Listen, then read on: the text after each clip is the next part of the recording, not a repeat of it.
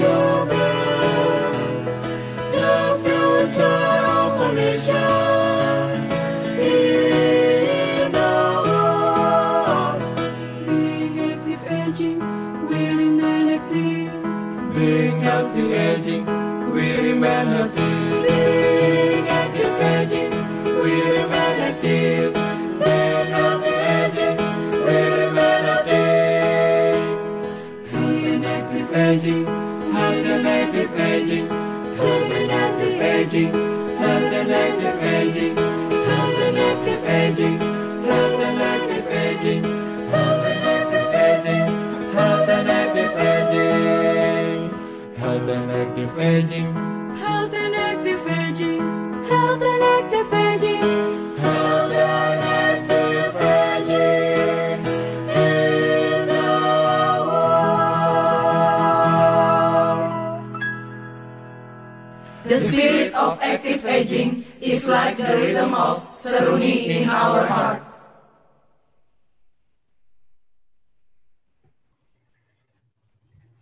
Okay. Good morning, ladies and gentlemen.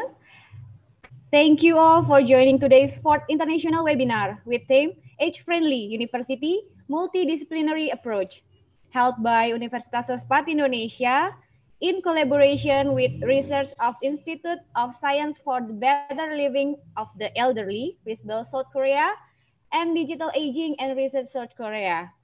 My name is Tia from Universitas Sespat Indonesia, and I am Master of Ceremony at this event.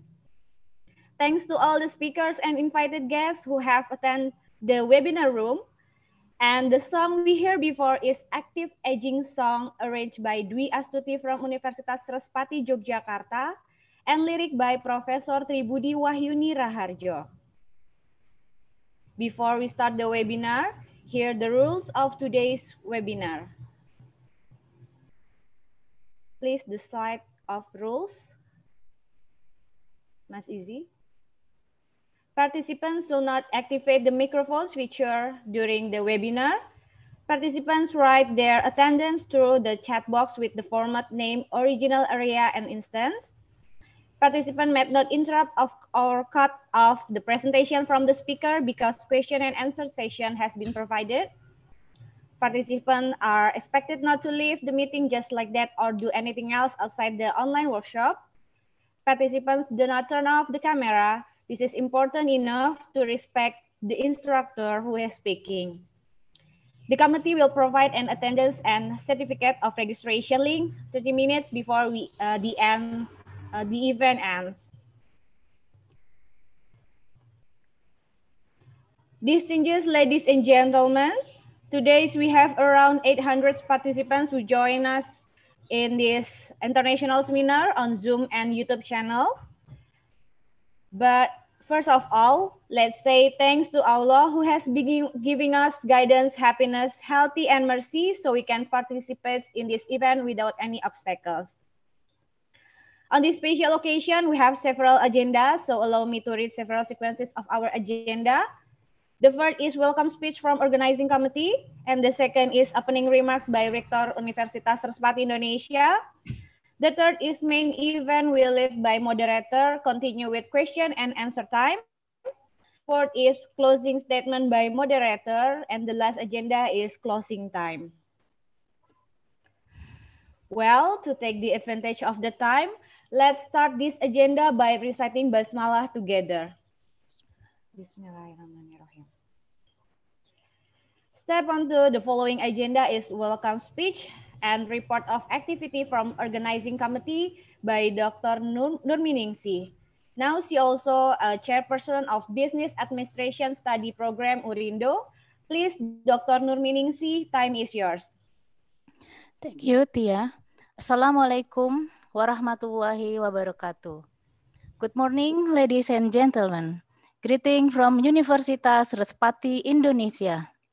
The Honorable Rector of Universitas Respati Indonesia, along with the academic staff, the Honorable Chairman of Respati Education Foundation, along with the Board of Directors, the Honorable Speakers, Moderator, and all respected webinar participants that has been registered around 800 from across of Indonesia and abroad, such as Pakistan, Malaysia, Singapore, US, Japan, and Korea, it is a great honor to have you all today.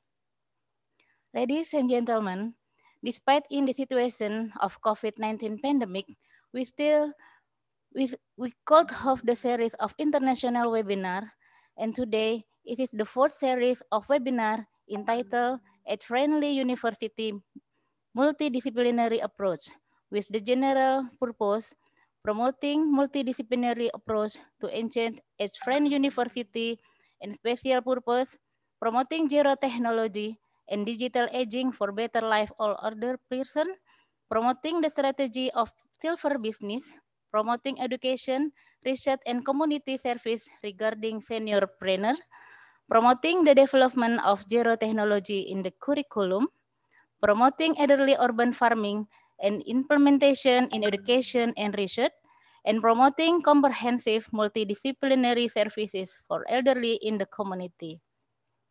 Today, we have President of Research Institute of Science for the Better Living of the Elderly, Ricebell, Digital Aging and Research, South Korea, and as council member of ECAP, Dr. Dong Hee Han. Dr. Dong Hee will deliver welcome remark as well as keynote speech and promoting gerontechnology and digital aging for better life of older person. Ladies and gentlemen, as the chair of organizing committee, from the bottom of my heart, I would like to extend our high appreciation to speaker and moderator and congratulated participants on joining the webinar today. A big thanks to a member of organizing committee for all great work so this event can be held well. Finally, I would like to express my special thanks to Prof. Tribudi Raharjo for building our confidence to hold the series of international webinar and the Respati Education Foundation who always support our activities sincerely. Ladies and gentlemen, in this occasion, I would like also to inform you that after the fourth series, the next will have five series of the international webinar. Please wait for the date. Have a blessed morning and have a great webinar. Thank you. Wassalamualaikum warahmatullahi wabarakatuh. Waalaikumsalam warahmatullahi wabarakatuh. Thank you, Dr. Nomirningsi, for the welcome speech. We move to the next agenda is officially opening remarks by Rector of Universitas Respati Indonesia, Professor Tribudi Wahyuni Raharjo. Please, time is yours.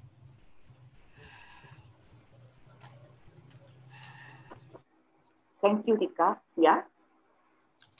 Good morning, ladies and gentlemen. First of all, let us praise to God Almighty for the blessing that makes the realization to conduct the international webinar series at the fourth with the title Israeli University Multidisciplinary Approach. The first, the second, and the third have been done successfully on 2nd of July, 20 July, and 12 August. For those, we would like to welcome to our honorable speakers, first Dr. Dong Hee Han, the president of Institute of Science and Better Living for the Elderly, who will share about digital aging for better life of older person. As we know that she is very prominent in this in this area, and I'm fortunate that Dr. Dong Han actually also my best friend. Thank you, Dong Hee.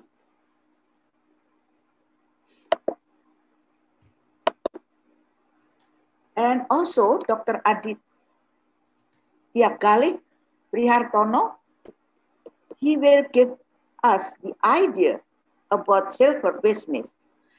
And I think everybody knows that he is very prominent in also in the in his practice of business. Besides, he is also our, our staff in the Faculty of uh, Postgraduate Studies. The third I would like to also welcome Ms. Uh, Annie Nur Aini, the Dean of Faculty of Medicine and Business, who will share the concern of senior trainers. And I show uh, that she's very, very active in this area and uh, usually inspiring all, all the people to do this. The fourth I think I also appreciate Ms. Desmiwati, the Dean of Faculty of Information Technology. She will share us about the development of gerontechnology uh, in the curriculum in her faculty who he leads. And also, we are happy to have Rani Nur Aini uh, Master of New Technology. because she is also uh, going to promote urban farming for the elderly in the Faculty of Agriculture Urindo. And last but not least, we have Dwi Endah, MPH.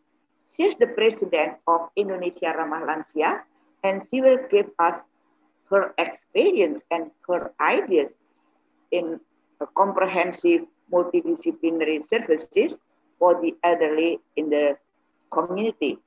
She is also with uh, the team, the winners for uh, Asia, Asia Healthy Aging Program. We will be learning a lot from all the honorable speakers about multidisciplinary approach to enhance its friendly university. The discussion will be chaired by the moderator, Dr. Yeni Sulistiawati, Chairman of Institute of Research and Community Service Urindo. Thank you so much for your kind support and collaboration. Allow me also to appreciate the organizing committee chaired by Dr. Nur Miningsih and Maria Aditya as Master of Ceremony. And also our professional IT team. Thank you, Tafrisi, Rizky, and Janit, because with all of you, then all the uh, international webinars that we are conducting, and then also we'll be conducting the next uh, for the fifth uh, series, will be very successful because of you. I would uh, also like to appreciate the faculty members of Urindo, uh, our staff and our friends from Risborough, our ACAP friends, as well as the Respati Education Foundation for the totally support. And last but not least, my high appreciation to all participants who joined us today. Please accept our invitation that makes inconvenient to all of you and good luck with the webinar. With the blessing of Lord, the fourth international webinar on Israeli University is officially open. Thank you for kind attention. Thank you, Professor Tribudi Wahyuni Raharjo for the speech and officially opening this webinar. Now, let's continue the main agenda. That is main event will lead by moderator, Dr. Yeni Sulistiawati. First, I would like to introduce Dr. Yeni Sulistiawati. Her education background, bachelor degree, FKM Undip 1999, master degree Undip 2006, doctoral degree Universitas Gajah Mada 2015, and experience a member of International Ethic Committee, FAIRCAP, chairman of the Research Institution and Community Services UNRIO and URINDO, publication some paper in international journal writing a book Metabolism Zat Gizi, some journals in Urindo and other expertise, uh, nutrition, research, and development. Please, Dr. Yeni Sulistiawati, time is yours. Thank you, Ms. Tia. Good morning, ladies and gentlemen. Welcome to International Webinar University of Respati Indonesia in Jakarta. Thank you, Prof. Tribudi Weraharjo, Rector University Respati Indonesia, and all of Civitas Academic for giving me a chance to participate in this event. The Honorable of all speakers, Mrs. Dong Yihan, Dr. Aditya Gali Prihartono, Mrs. Ani Nuraini, Mrs. Jasmiwati, Mrs. Reni Jasmi, and Mrs. Dwi Enda. And all of participants, thank you so much for joining us with this event. Ladies and gentlemen, now we will move to the first speaker. Our first speaker today is Mrs. Dong Han from Korea, and she will deliver a topic about digital aging. And now, I would like to invite Mrs. Dong Han. Good morning, Mrs. Dong Han. Hi. Mrs. Dong Han, are you ready? Hello? Hello, Mrs. Dong Hee Han. Hello, everyone. This is Dong Hee Han from Korea. Can you hear me? Yes. yes. Okay. Yeah. yes. How do you do, Mrs. Dong Hee Han? Very fine, and uh, I'm very appreciated uh, such a wonderful webinars and uh, the age-friendly university. This is issue is very challengeable and also very important issues. And then I'm very appreciated uh, the Professor Tribly and the whole the Respati, uh, the security members and uh, my friends. And uh, today the, I want to talk about the digital aging and uh, also uh, it is very, uh, sometimes it must be the difficult issues, uh, digital aging and the technology with uh, the older people. But this is a very important issues mm, uh, Excuse me, Mrs. Yeah. So I would like Excuse to... me, Mrs. Okay. Yeah. Can I uh, let me inform your CV first? Yes, yes. So is it okay? Okay. Okay. So uh, the today that I'm very happy to share the, these issues, the digital aging. Uh, the in comparing the Korea and the Indonesia's uh, we started uh, these issues, uh, digital aging. Uh, and when 2003, only 13% using the internet, but now 2019, our older people using the 80% using the internet. So it is big change. So the especially in uh, the you know uh, in in the, the coronavirus is the pandemic, uh, it, all the people is the, uh, isolated uh, a lot. So the digital aging issue is the very important. This time, the, the I'm very appreciated uh, international webinar, the series four, the age-friendly university. Uh, the issue is digital aging is very important, I think. So today I would like to share uh, my uh, issues uh, with the, uh, the digital aging according to the, the my research institute the programs how can developing the digital aging and uh, why we should do this issue and uh, what kind of uh, efforts we have done so, so, i really want to share with all of our participants uh, I'm from Busan, not in Seoul. Uh, Busan is one of the uh, uh, uh preparation, the smart city, and uh, especially the Eco Delta city is the new product in our city. So our city want to make the smart ability and the smart city, and then, then everyone want to the, this issue. So our government selected some city to prepare the smart city. This is the very important issues in our the city model. And then shortly, I would like to introduce my our institute. Uh, we founded in 1997, uh, mostly uh, the, the uh, institute developing the policy, but uh, our institute is developing the programs and then uh, how can the helping our older people. So usually we have done that the action research. So recently our the important issue is uh, one is the digital aging. The other one is uh, the well aging age. Uh, both are the uh, using the technology and then the tool, but the digital aging is the usually we develop the, cyber family and internet navigator and then TOT programs. And the main purpose is a bridge of digital divide for older person.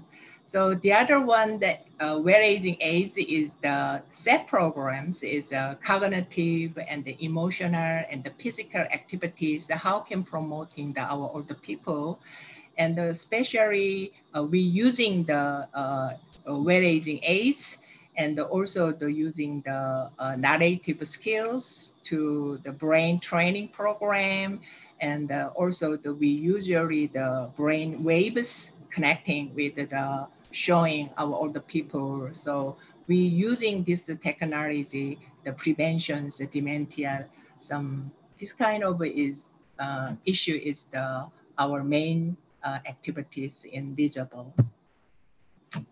Uh, maybe the, it is the same situations, but our Korean population of older person is uh, uh, from 2050 getting declined.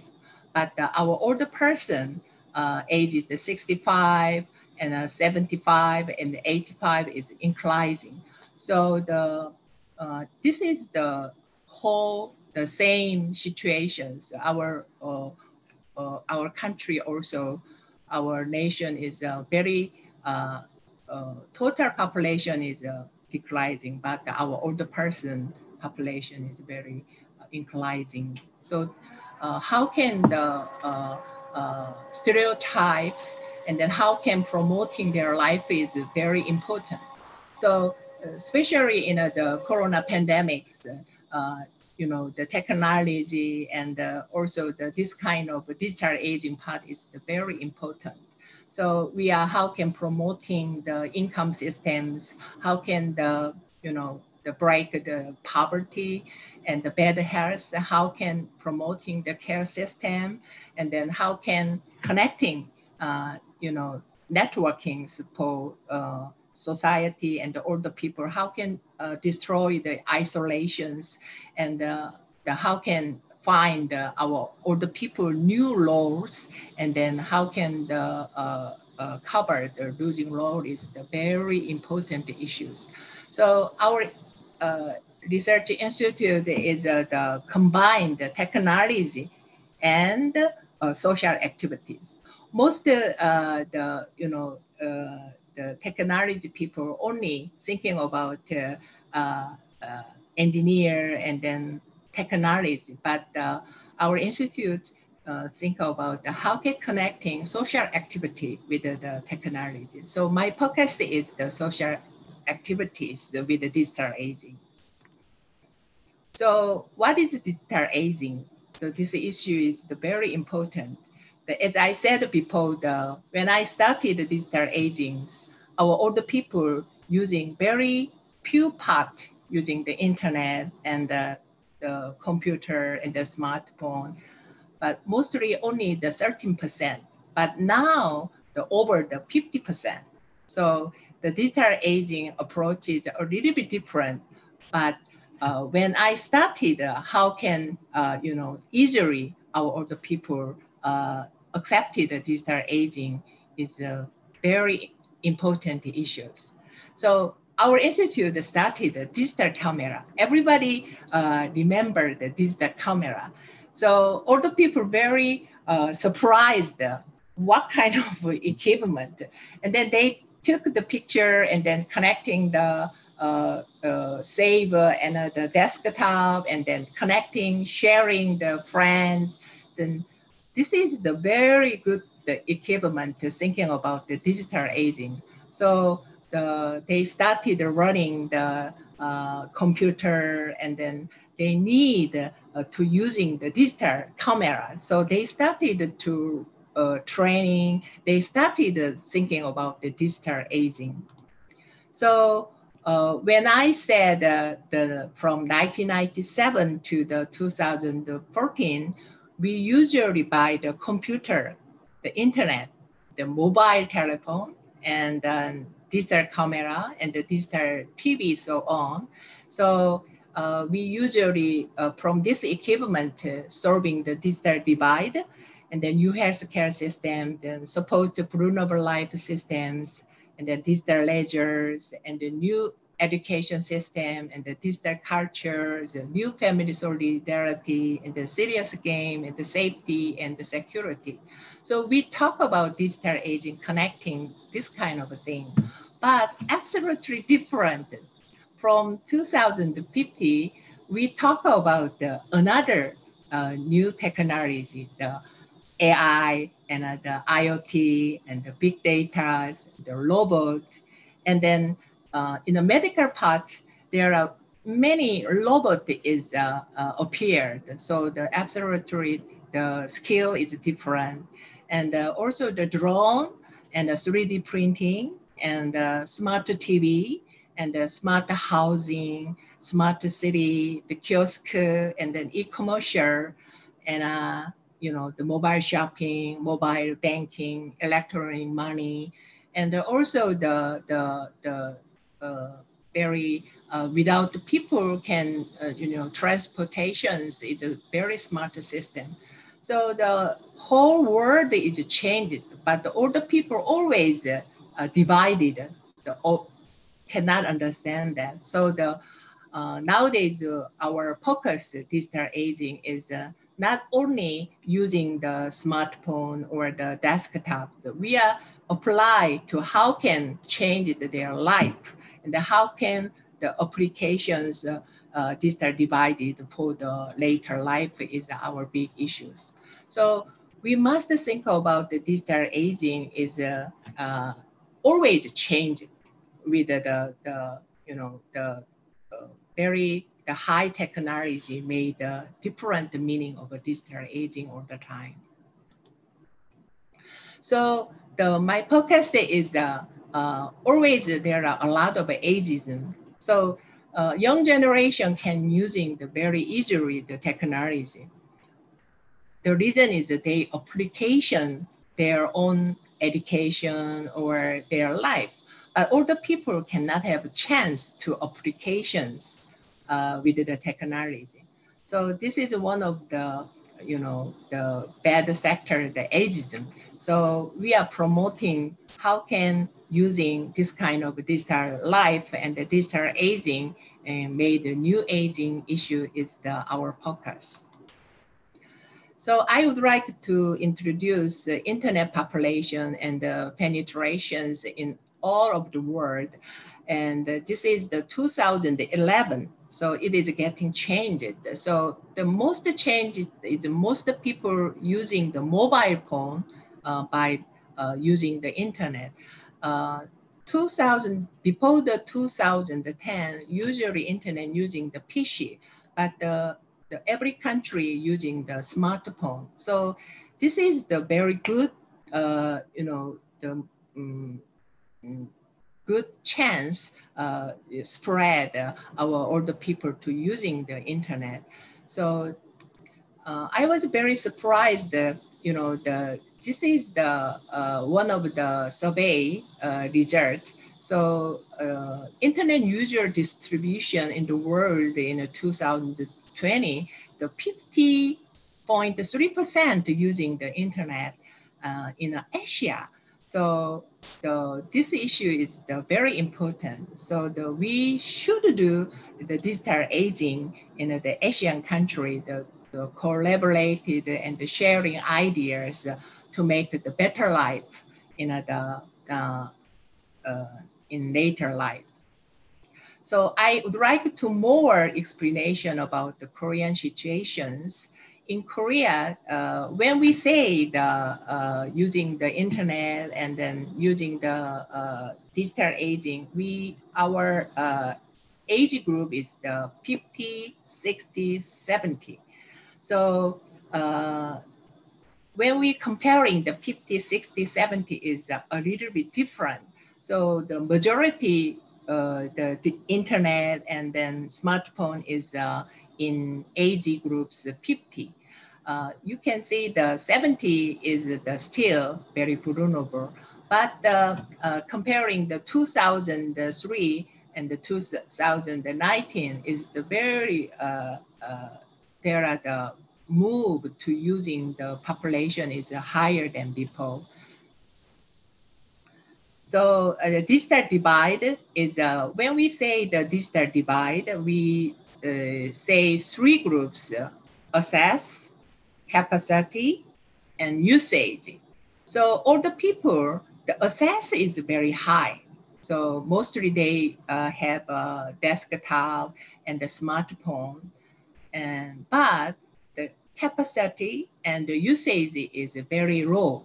The meaning is the young generation, they have the, a lot of the capacity and the usage, the opportunity, but uh, in older people cannot have the uh, capacity and the usage. So the, from now, we think about uh, developing the uh, promoting the, our older people to using the digital life, we must talk about the capacity and the usage. This is the very important. That's why um, uh, our institute, the, the, the, a lot of uh, digital aging program, and then the, they can use the, and then to use the digital aging programs. And then now, uh, mostly using the internet in Korea is the, by the smartphone. Uh, comparing uh, the 2018 and the 19 is similar, but uh, you know the more and more the everybody using the smartphone. So the our training programs, digital aging, in the move to the from desktop to smartphone. America is the same, and then Europe is the same. So mostly they using the smartphone. So from now, uh, I would like to share an uh, ICT equipment to apply the uh, ICT as a later life for digital aging eligible programs 1997 to now. So the, for 20 years almost we have the training programs by desktops, not to use the smartphone. But now we are changed. Uh, the usually we training programs by smartphone. And the first time the, when we the spread uh, to older people, we usually digital camera and then they, we showing the what kind of the, the convenient, what kind of the benefit you have. So we give the a lot of chance all the people using the uh, you know online programs, offline programs is connecting. So uh, this is the uh, you know uh, they take a pic took a picture and then uh, printed by the uh, the desktop and then they sharing the uh, movement. So that it is a very good chance to spread. Like this, uh, digital aging programs exactly showing what kind of thing and then what kind of benefit the older people has, then they can do and then they can apply their life. So we had done the, a lot of events uh, among the young generation and the older generation gathering, talking about uh, how can making the warm internet and then better internet in our society. And also the, we made the cyber neighbors. So our older people visited uh, the very isolated uh, Iceland. So the, our older people meet the, our young generations. This program is uh, very nice. And then the, we developed a lot of events and then also the capacity and the usage then the, they can using the, uh, the digital life and the digital aging is very easily spread uh, uh, to our older people. Also, we developed a lot of programs, the Cyber Neighbors and the Cyber Game and the Cyber Family. This is also the uh, between the young generation and the older generations. So, you know, the we uh, older people sometimes run to the young generation and the young generation understand the, the technology also need uh, for their parent, uh, grandparents and the older people. And uh, this is the cyber family programs.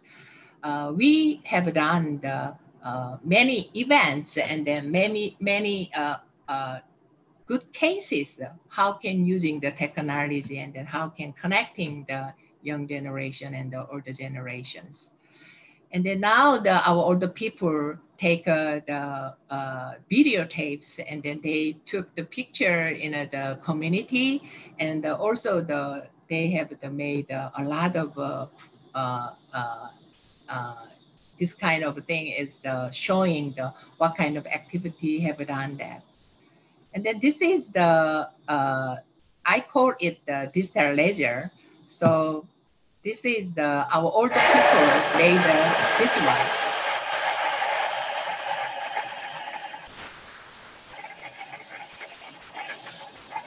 So one of very famous beach in Korea.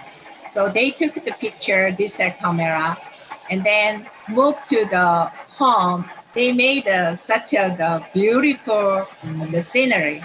And then this is the, we call it the digital ledgers. Our older people made this one.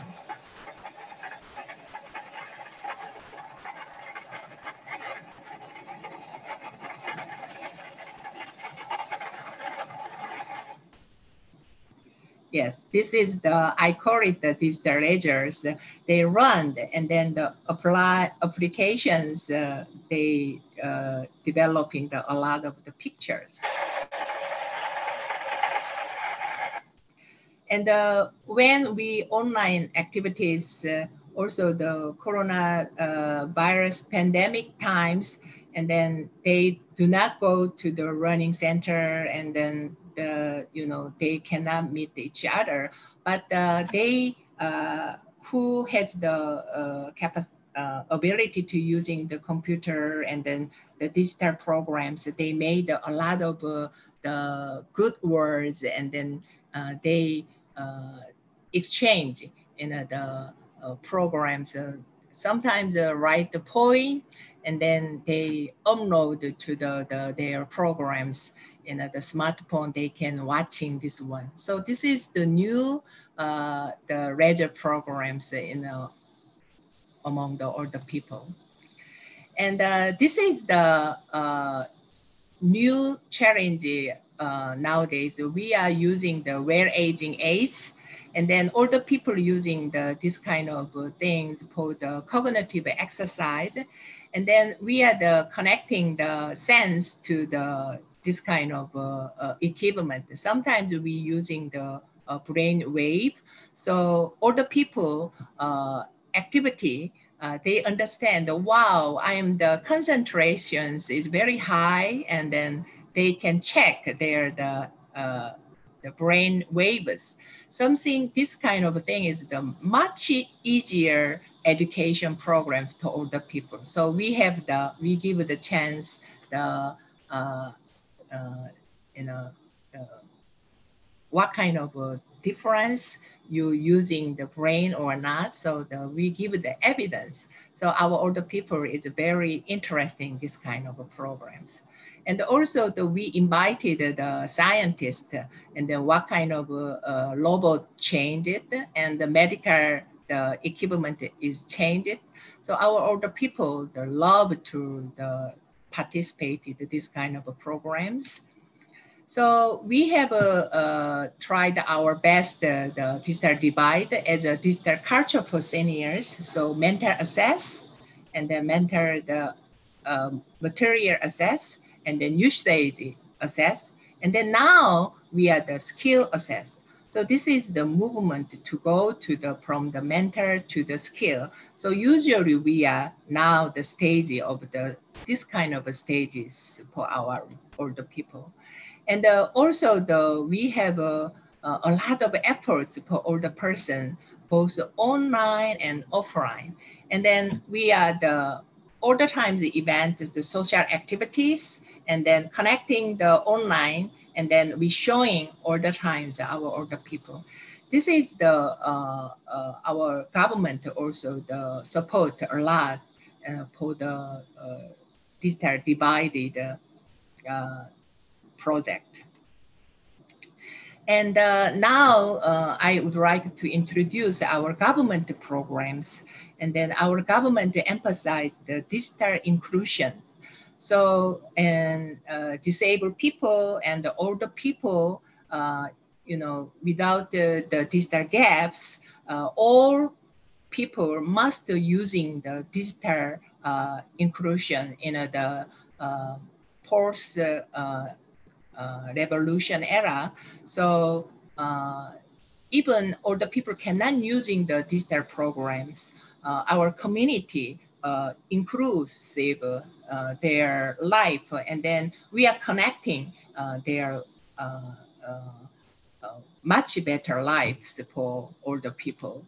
So this is from the Digital Citizenship submitted by America and also uh, the, uh, the European country uh, also the promote uh, active and uh, assisted living programs. So young generations uh, developing the programs, uh, older people. So the smarter aging prize. So this this this C has the uh, got the the prize, and then the promoting the what kind of things, what kind of applications uh, can better life for older people. So this is the whole thing is the society uh, combined uh, how can promoting the better lives in later life issue is the connecting. Uh, this is the digital social innovation is also one of the uh, very uh, useful programs for the um, in Europe countries. And also the in our country, the, you know, the uh, this pandemic, uh, very a lot of the innovative technology is used, app programs, and also the self self diagnosis the app programs, and then the, a lot of informations delivered the text or uh, you know the, the connecting the maps, and then even the checking the robot, and also the cleaning hands, and then you know the, a lot of the uh, technology is the, uh, used in the pandemic areas. So my conclusion uh, is a, uh, a, new challenge with the technology uh, is uh, mm -hmm. big issues in uh, the um, in fourth uh, revolution era. So the smart home and change in lifestyle and then evolution health services and the lifelong educations and then AI power personalized services, AI and the change the jobs and the innovation in life in the mobile only era and the intelligent transportation system. The whole thing is the new digital paradigm shift. We call it the digital transformations. So Korea uh, the emphasized about uh, digital inclusion as a digital transformations because uh, the AI and then the new technology is the uh, showing in our uh, later life in front of the, our older people. So we are very uh, uh tried our efforts. Uh, how can the inclusion is very important. So mostly uh, industry and the education, and then we talk together about the digital the inclusions. So the, our uh, focus in uh, the digital aging is the digital education and the life convenience, digital equipment, and the software development, and the care with the technology and the social activity. This is the main uh, important issues for digital aging. So I hope in, in uh, Respati University, also the young generation, very interesting in uh, uh, about the, the, our uh, your older people. So the our young generation talking about the, how can change it the better lives for life, and also the uh, talking together between the young generation the generation, how can change it the better life in later life. So my conclusion is uh, uh, the digital aging as a digital culture is an interaction programs and the continuous social participations and the health promotion and the keeping dignity and the respect is very important. So uh, this is the interaction is the not only the young generations, older people can use the much better life with the digital aging, no variable. Then older people has a, lot of uh, experience and uh, also the analog uh, the story. So the moving to the technology and then um, they can um, much uh, beautiful and uh, harmonize the, the society. And continually, you know, the, our older people uh, information and the new uh, workforce and then also the health promotion is uh, care issues. The whole thing is the technology. How can the much uh, uh, good care services by robot and then how can application is the very important. And then I, uh, artificial intelligence, IoT and the robot and then whole digital systems and then even the brain training. And this is the new items in the digital aging. So most important thing is the ethic issues. So uh, we continually talking about the ethic issue, uh, you know, the keeping the digital uh, dignity and the respect. Okay, very shortly, I share the, my ideas uh, with you. I continue to talk about the digital aging with uh, all of you. Thank you very much. Thank you, Mr. Dong Hyun. The interesting presentation, the digital area or digital culture, amid interaction, continuous social participation, health promotion, and keeping respect. Maybe the conclusion uh, from your presentation, Mr. Dong Hyun. Thank you. And ladies and gentlemen, now we will move to the second speaker. The, spec the second speaker is Mr. Aditya Galih Prihartono. He will deliver topic about strategies of silver business. Mr. Aditya from Faculty of Postgraduate Study from University of Indonesia. Before we start, let me inform uh, Dr. Aditya Galih Prihartono curriculum vitae. Education background he bachelor degree from FISIP University Indonesia, master degree from University of Gajah Mada, and doctorate degree from Institut Pertanian Bogor. He is a startup practitioner from Masjidpedia e-commerce, Catholicious Low Carb Food, disitu.com, Financial Data Aggregator, and Monesa Financial Planner and digital healthcare from uh, for Haji and Umroh. He is founder ASEAN Association for Consumer Interesting and Marketing and strategic thinker with more than uh, for business experience, interest and expertise for consumer behavior, coaching and mentoring. Mr. Aditya, it's time to deliver your presentation. We give you 20 minutes to deliver it and please time, please uh, are welcome. Thank you. Mr. Aditya, are you ready? Yes. Uh, thank you, Dr. Yani, for the introduction. Good morning, everyone. Uh, good morning, Prof. Uh, Tri. Good morning, Dr. Donghee. Uh, I'm very happy to be part of this uh, webinar. And uh, in this um, webinar, um, I have the you know the chance to a little bit share about uh, the business side in the elderly uh, segment. So um, I think there's a lot of uh, opportunity out there, and um, one of the segment that somehow maybe not forgotten, but uh, not really focused on in uh, in Indonesia or maybe not only in Indonesia but all over the place is on the uh, higher or higher age side segment.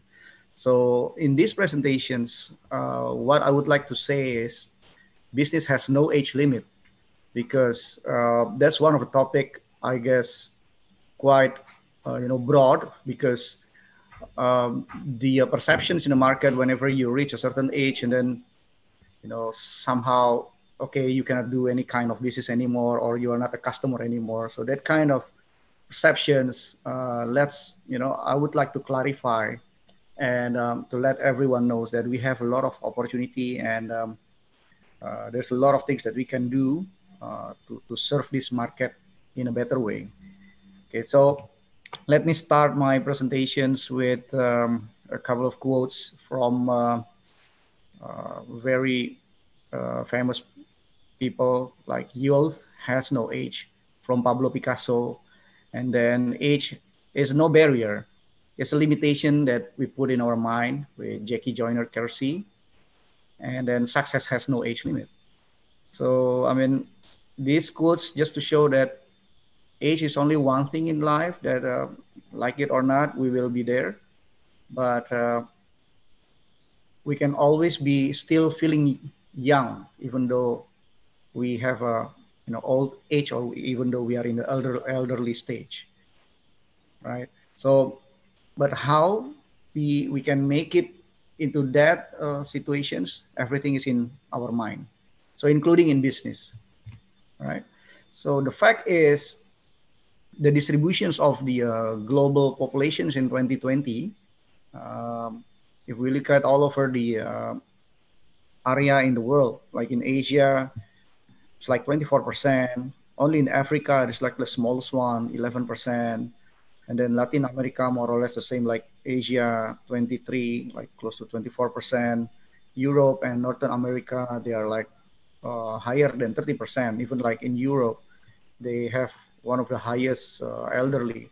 It's like 39%, almost 40% of the population there, uh, reaching uh, 60 and above. And then uh, the last one is Oceania, is 28.5%. So just based on this, um, we are also going to, you know, like maybe in my age, we are the like baby boomers. We will also be getting older soon.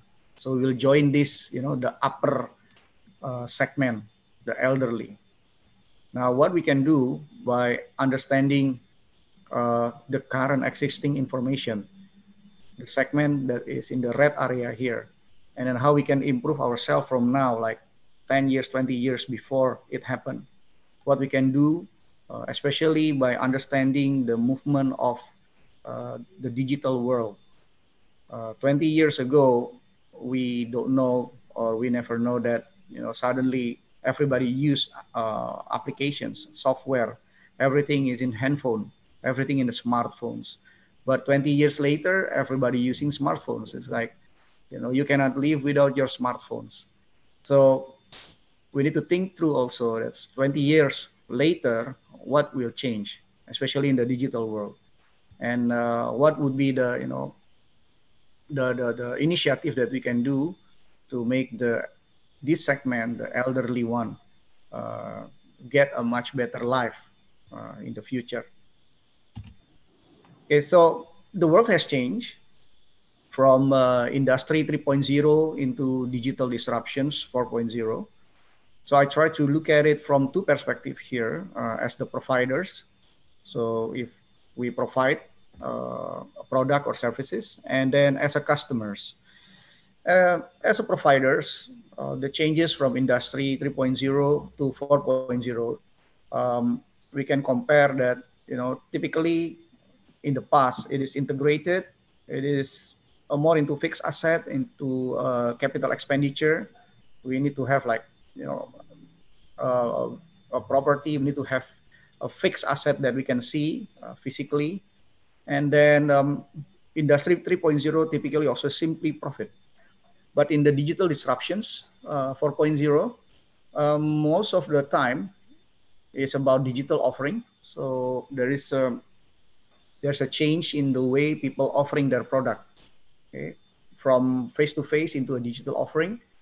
And then the coverage it is also a bigger coverage because of thanks to the um, digital technology that can help uh, people to sell their product through the digital world so the coverage can reach not only in country domestic but also overseas so it is a bigger coverage and then uh, 4.0 also mainly about sharing economy. So rather than thinking about our own business and then have a you know huge profit from there, now people tend to you know share the, the business with others and then have the synergy from one um, initiative into another initiative. So this is what we call the sharing economy uh, initiative in the digital disruptions. And on also on top of that, um, in this disruptions era, people try to uh, move into what we call the, as an ecosystem. So rather than they are competing each other, so why don't we have like this ecosystem so we can grow together as an ecosystem, not as a product by product, but how we can serve our customer um, and serve our our segment altogether uh, under the concept what we call uh, CLV or customer lifetime value. So we look at a single customer not only by you know selling them a certain product or one product only, but we look at them in the overall basis from you know from the first touch points until you know they are still until they don't like us. Okay? So if they don't like us then we will keep on trying to you know how to make them come back as our customer again so this is what we call as an ecosystem because as long as the customer is within the ecosystem that we create in we can say that this customer is still within the ecosystem and we have a very good chance to keep on talking to the customer and then uh, you know selling uh, whatever services or product that we have with them. Of course, in this case, there is a role of big data that uh, quite uh, important and very important in in, uh, in my perspective, especially for the past 10 years. I think people keep on saying about big data, big data here, big data there. Uh, but most of the time, even though there is big data, there is a loss of objective, you know, even if there's big data, but they don't know what to do with the data. So this is where you know the ecosystem will play part. What kind of ecosystem that you know these providers would like to create? Because only with that ecosystem in mind, then big data will have a meaning.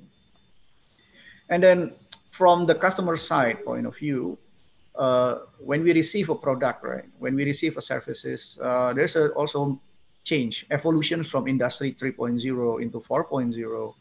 Um, for example, in 3.0, typically uh, the deal uh, happen through the verbal or voice uh, channel. So when you want to make a deal, you just pick up a phone and then, you know, you will you talk to the guy or you talk to the whoever is the providers, and then it change um, into a digital order. Okay. And then uh, another change is from pickup or a face-to-face mode. So everything if we remember in the past, like especially in Indonesia, right? Um, now our lives become easier, even in this uh, COVID era, thanks to Gojek and Grab. In Indonesia, Gojek and Grab is, you know, one of the, they are two of the, the elephants in uh, logistic world, in the transportations world. So if in the past we want to buy a food, we have to go to that place, to the seller place, to the locations by ourselves. We pick up the food and then we need to pay, uh, you know, by cash payment. Now everything is easier because we just, you know, two, three click away, then the food will come to our place. Okay, in the, and that is how life very easy and change the world change very fast. It is more personalized in the digital disruptions 4.0. It is also faster. And it changed from voice from you know talking into chatting. Okay because the the, cha- the, the changes is like quite in in a you know consumer behavior perspective that changed the way we serve our customers you know from call center uh, base into a chat center base. So everything is written rather than uh, you know you listen to whatever the order is so that's how uh, the changes and i think uh, it's also very good if we look at how if these changes also happen in the elderly segment. What happened there?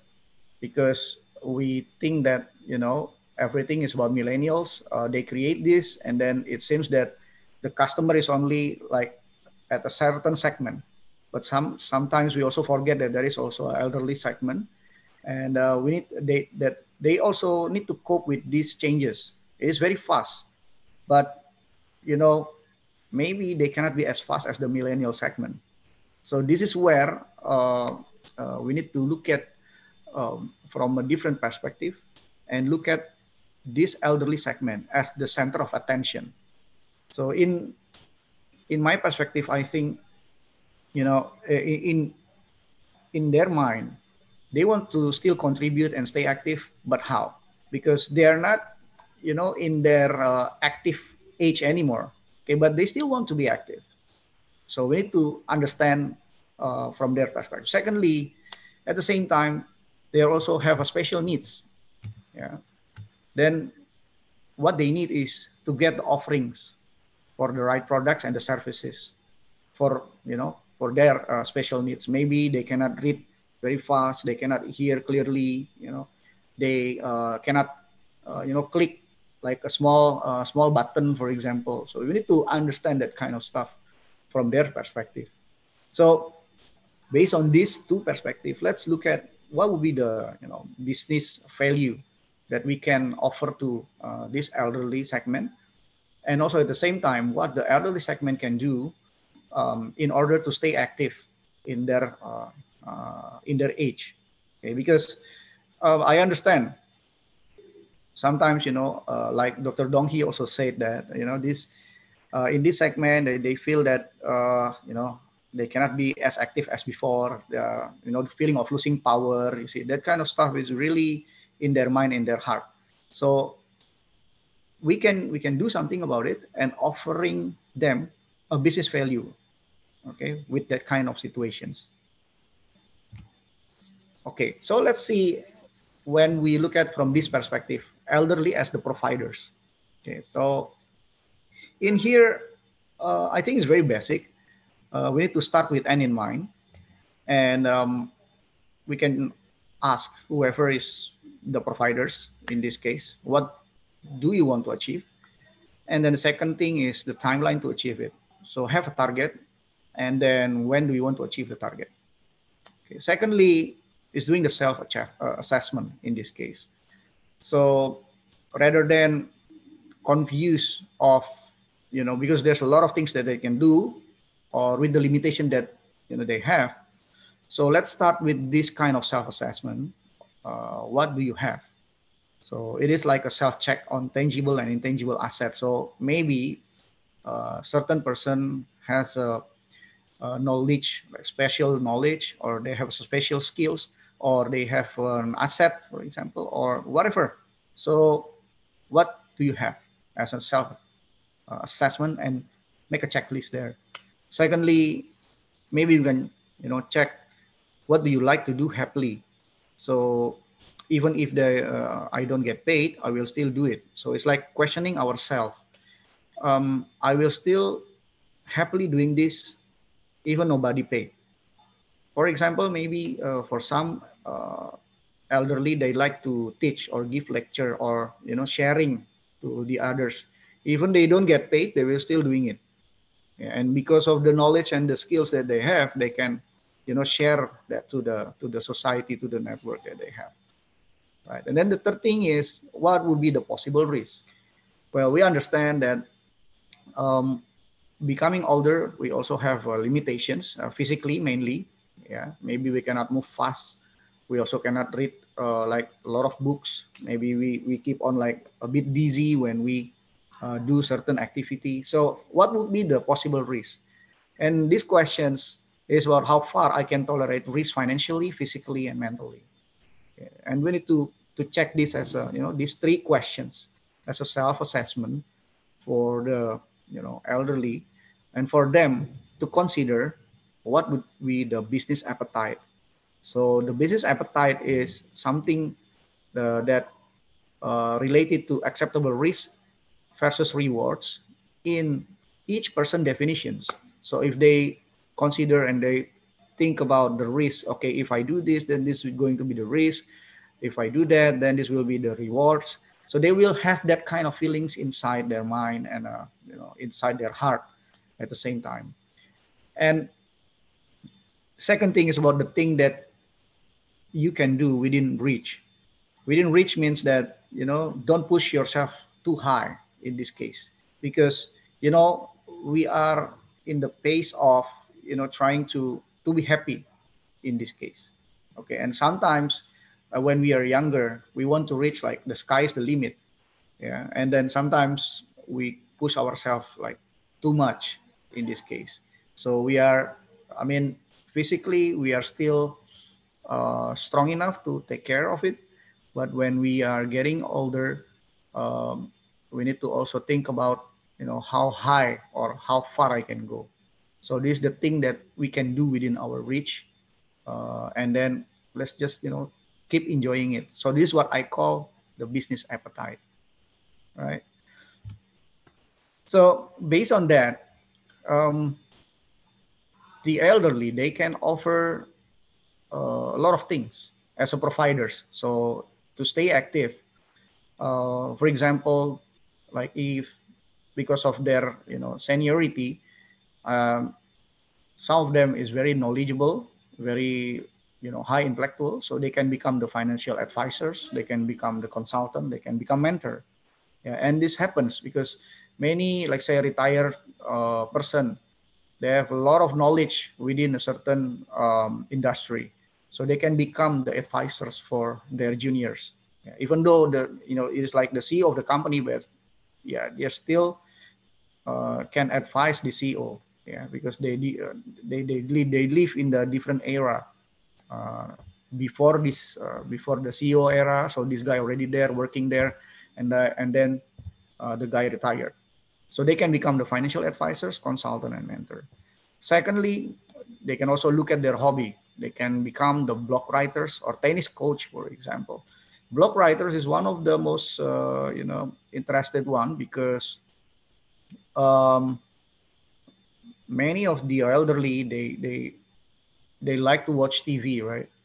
So instead of only like watching the TV, if they really like the news, they really like a certain you know topics, they can also become the blog writers. Just write it in you know while watching the TV, they can write through their laptop, you know, to just okay, hey, this is like in the movie industry, what happened there, you know, just become the blog writers there. And then also there's this special skills. Yeah, if uh, the person has a special skills, they can become the outsourcing freelancers.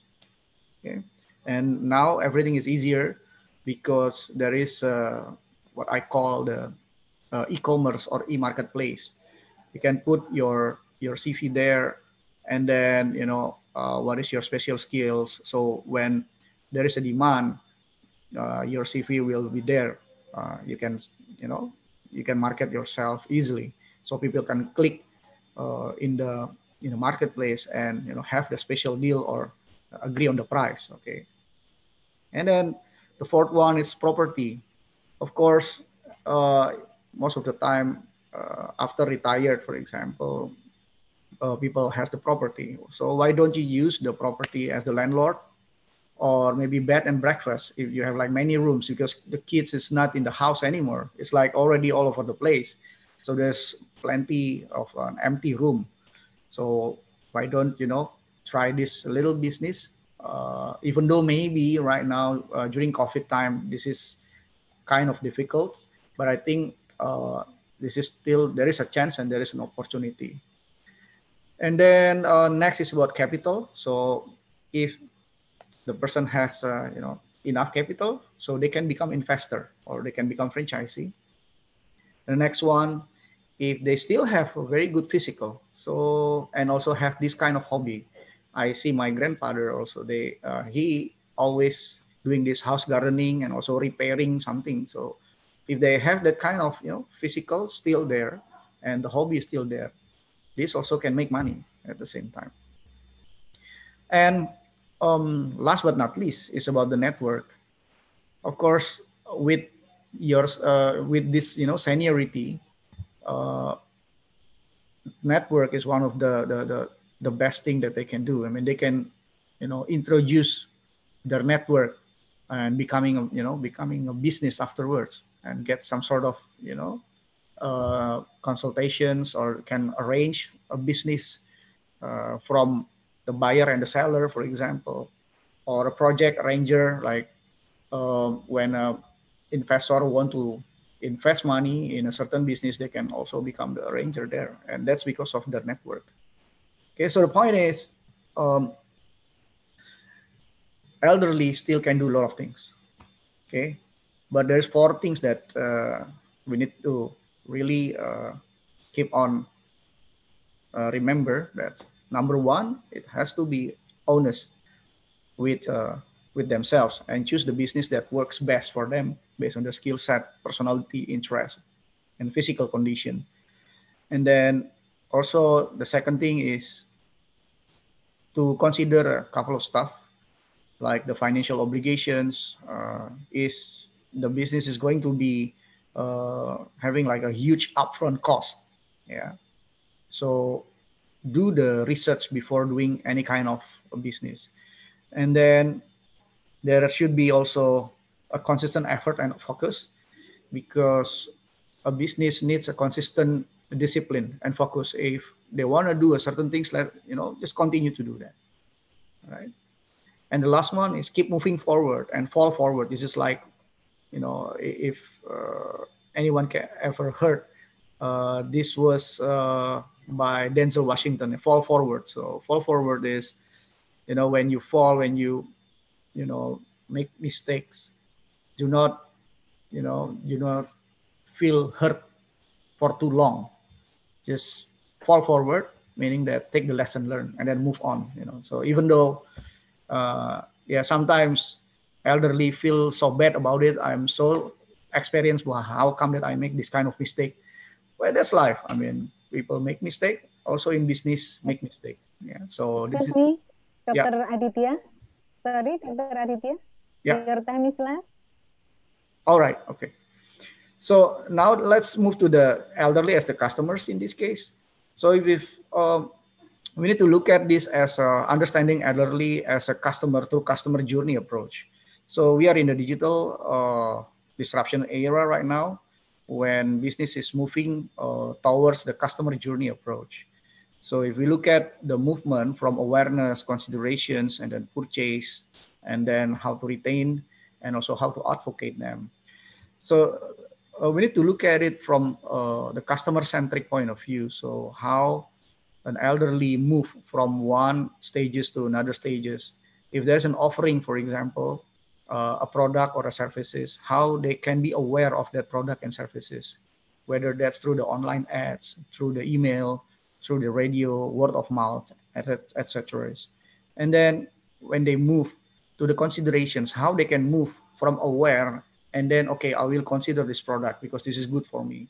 How we can make it happen? How to to to make that stage move from aware into consider, and then after that, the most important part is after they consider and you know whether they will purchase the product or not.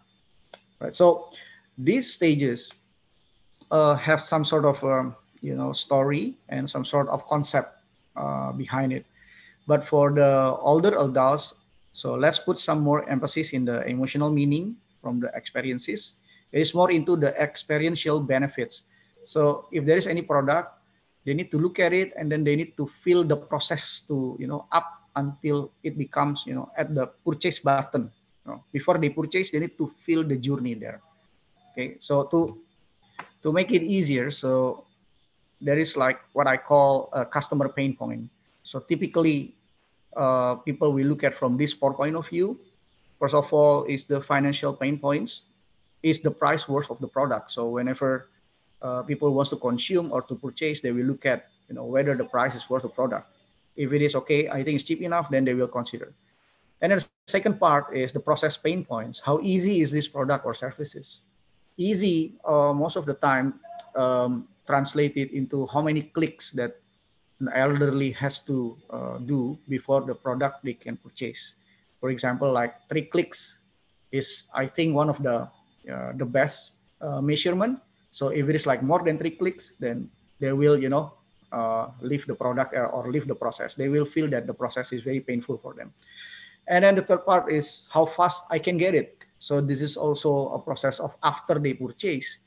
Uh, from consumer behavior perspective, after I pay, I want the product like directly in front of my eyes. So if the products like after they pay, the product will come like one month later, maybe you know they will not too happy about it. So we need to show that there is uh, you know uh, this kind of uh, after pay, it is in front of my eyes. And then the last one is, of course, after they buy and they need help, how easy I can reach you. So how easy I can contact you or how easy I can get help if I get trouble with this product or services. So in, in this case, the story is about customer point, pain points in elderly segment. We can use that as a starter to a promising business. Okay, so um, this is a little bit of opportunity that we can look at uh, from the provider's point of view, let's focus more on the business appetite, okay, as uh, I explained earlier. And then on the customer side, let's focus on the pain points. so we can get the opportunity there. Okay, the challenge so far uh, that I can foresee and I can feel and uh, I can summarize here uh, for this elderly segment is the capital injections. Yeah, because of course if you uh, they want to have a business because of their age uh, the uh, investors see that the chances the risk is getting higher. So that's why it is far it is very hard or harder for the elderly to get the capital injections. Number two is the product and service advertising focus. So most of the time, the advertising or the marketing or whatever the explanation about the product, the intentions mainly is not for the elderly. The intentions is for the you know the the, the bigger the biggest chunks of it, which is like uh, before they become age. Before they maybe like in the term of age is like maybe below 50, yeah, 30 to 50 years of, of age. And then in terms of learning, digital literacy also another problem because this is kind of uh, even though everybody doing it, it does not mean that they like to do it also. So this needs, uh, you know, digital literacy, how to how to make them easy to understand about digital literacy. And then the fourth part is the legacy to the next generations. We know as an elderly, then there will be legacy. So how to to transfer this knowledge, to transfer this business to the next generations. And the last one is the healthcare expert. It's not, you know, the, we need a lot of healthcare expert, but I think the ratio is uh, is still too high. Yeah. So there is a lot of chance to become a healthcare expert and get a lot of uh, benefit and business from there. So um, business has no age limit, as explained. As also you can see in the in the picture here, um, even uh, you can become the fashion designer. We can you know become a friend to someone else we can you know have a business like in a sewing business in here in Indonesia. At the same time, uh, if we want to improve uh, the product as a customer, yeah, elderly also can give a positive contribution by giving a feedback. If they don't like the product, give the feedback. What do you like with the product? What do you like for the service? Give the feedback. So if any if there is any chance, right, uh, after they receive the product or services, there is like five star for a feedback, like uh, star one, star two, star star five is the best. So give the feedback to the providers because that helps for the providers to keep on improving their product and service for the future. So no matter at what age, positive contributions can be done to make a better society. Thank you. That's from me. Thank you, Mr. Aditya. We agree with this statement. Business has no age limit, no matter at what age and positive contribution can be done to make a better society. Very useful presentation. Thank you, Mr. Aditya. And the sub-presenter is Mrs. Ani Nuraini. She will deliver topic about seniorpreneur. Mrs. Ani is Dean of the Faculty of Management and Business. Ladies and gentlemen, before we start the next presentation, let me read Mrs. Ani curriculum vitae first. She is an entrepreneur and practitioner speaker. And he uh, she awards the best paper in national seminar, chairman of Alisa Khadija, consultant in IT development, and she is on several franchise business. Mrs. Ani, it's time to deliver your presentation. We give you 20 minutes to deliver it. Please time and place are welcome. Miss Ani? Yeah, thank you. Thank you, Miss Yeni, Dr. Yenis. Thank you very much. Uh, first, uh, let's uh, say thank to God, Allah Subhanahu wa Taala, that uh, we are healthy and happy today, and being able to be here for this webinar. the Honorable Prof. Tribudi as a rector uh, always give me motivation. Thank you very much. Uh, the Honorable uh, for Ms. Donghi Han and all speakers, academic community Respati Indonesia University and all of uh, audience, thank you to give me chance sharing about seniorpreneurship. Next. Next slide. What is a seniorpreneurship? In this session, uh, I would like to share about seniorpreneurship. In the first, uh, before this, uh, before this slide, uh, we are always healthy, healthy, happy, enjoy, and benefit. To be senior uh, seniorpreneurship, uh, we must be healthy, happy, enjoy, and uh, give benefit. We must anchor uh, these words in our mind, uh, feel, and do it. So you can get uh, or reach your business.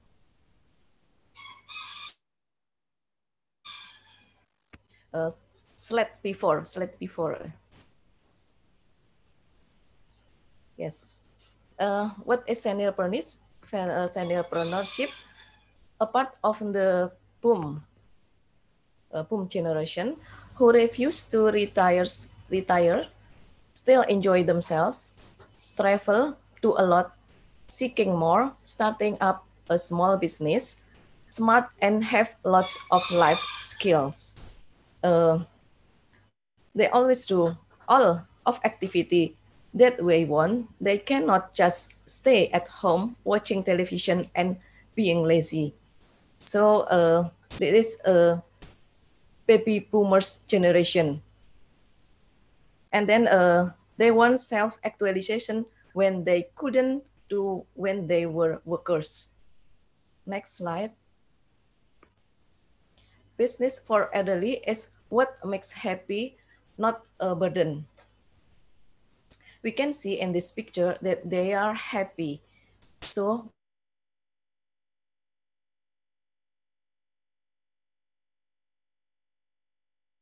happy and enjoy in their business, especially after retired, because uh, now they are boss in their business and can express all of their mind.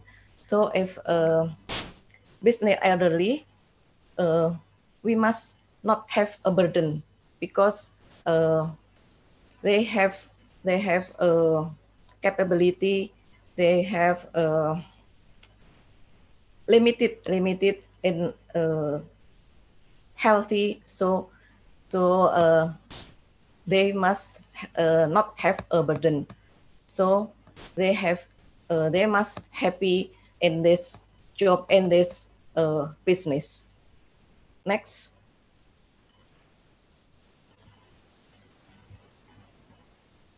In this graphic, uh, this is I uh, the source from Kauffman Foundation. This is in America, 1998, 2000 until 2060. All age group experience increase in the opportunity share in 2060, continuing the upward trend since the Great Recession the opportunity share is highest among the oldest age group and lowest among the youngest age group. Uh, we can see that uh, the graphic, yeah, we can see that the graphic elderly who do business more than young. Next. It's never too late to start a business, even though you are old. So go on. Mungkin uh, next slide.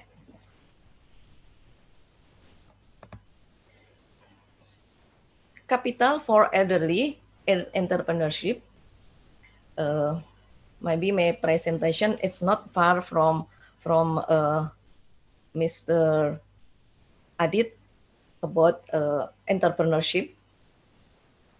Capital for the elderly in entrepreneurship uh, first mature experience uh, and network what capital is needed in senior entrepreneurship? mature is because if uh, it has been through a long life process in experience mature if we have through a long life process in experience and then experience make full use the experience you have while working and then network the network we have is in investment.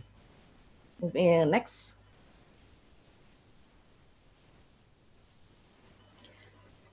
Take up a hobby, work without pressure and funds. Take up a hobby. A hobby is an asset that must be cultivated, explore and develop as business potential. Work without pressure. Uh, we can work for ourselves without pressure, be our own business, our boss, but uh, must be willing to do everything ourselves if there is no employee help. And funds, the elderly generally have enough saving that they save while working so that they have enough capital for business. Next. Reason to be seniorpreneurship. The first is retired, independence, uh, and then uh, self-actualization, charity, and useful for others. Retired means retired from his previous job and wants to continue working as a seniorpreneurship. And then independence, freedom and work that produce and has value. And then self-actualization, create a valuable work so that it uh, becomes a matter of pride. Uh, charity, with the result of his work uh, as a seniorpreneurship, the goal of living for charity can be realized. And then uh, useful for others, can help assign jobs to others. Next slide. the great strategy to start thinking about your business before you retire. Measure of uh, measure of our strength to do business. First, uh, take risk. Uh, uh, what kind of us? What kind of us? What type of us? Take risk or risk averter. Because uh, to be a seniorpreneurship, we will face the risk of failure so at the beginning, we need to do simple feasibility by mitigating risk. I think because seniorpreneurship must have experience, of course, their instinct are strong to business. And then the mentality of success and failure. I think uh, entrepreneurship, they have mentality strong because they have experience. And then uh, support family environment. Family support is very important because it will smooth the running of the business. Last, uh, create a simple business plan. Be kept simple about the feasibility and the business plan to minimize risk. Next slide. Business suitable for the elderly. I think uh, business of goods for the elderly, like uh, clothing or equipment, and then business according to the hobby of the elderly, food business for the elderly traveling, and then uh, maybe based on uh, digital digitalization, because uh, now uh, all of business uh, move to digitalization. So uh, need elderly to study and then uh, study about uh, digitalization. Next.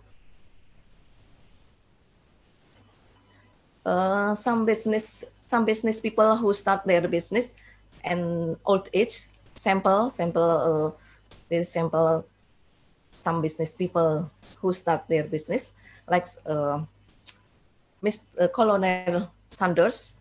Uh, he have Kentucky Fried Chicken.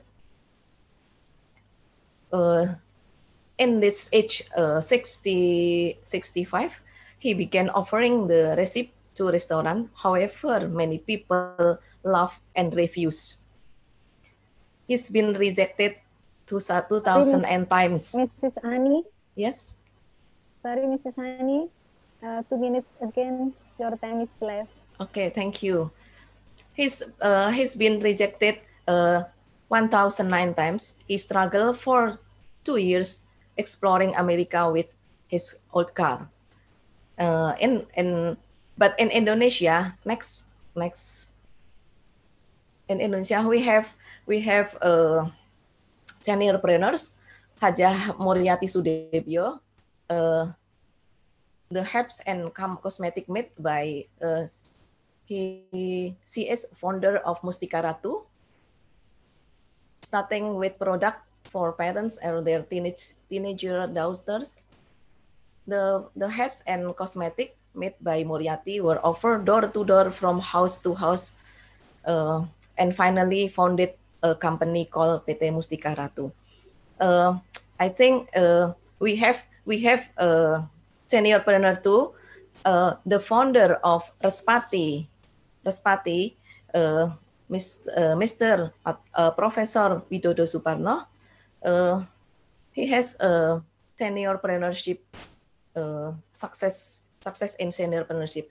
Uh, he start a business after he retired too, uh, and the business uh, grow grow fast after he retired. Okay, uh, next. Uh, so you are never too old to start a business.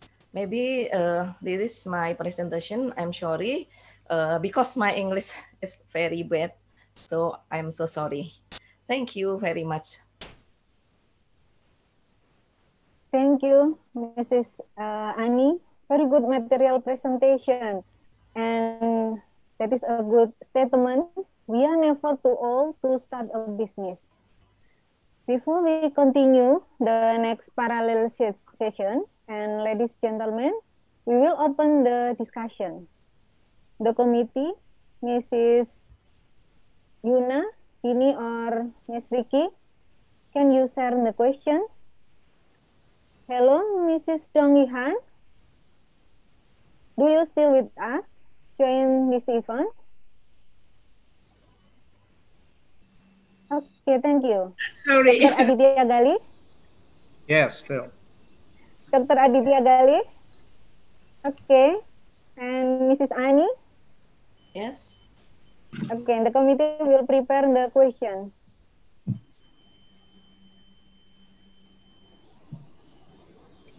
Mrs. Dini or Ricky? Can you share the question?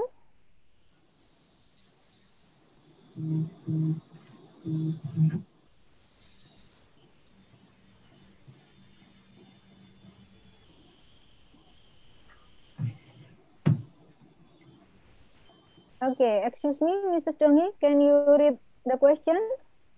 Okay. Uh, okay, can you hear me? Yes. Quite clear. Okay.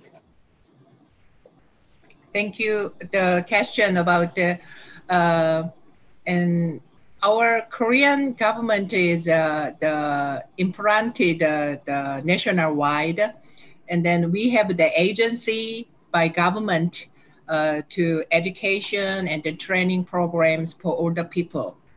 So um, from 2000 till now, the, over the uh, 20 years, we are our government uh, support running computer and then learning smartphone and then you know the access Mm-hmm. uh, very easily access but uh, our government also uh, this year as i told before the digital inclusion so you know the community levels uh, very easily uh, gathering 10 people so they can run the how can using the smartphone and then the technology.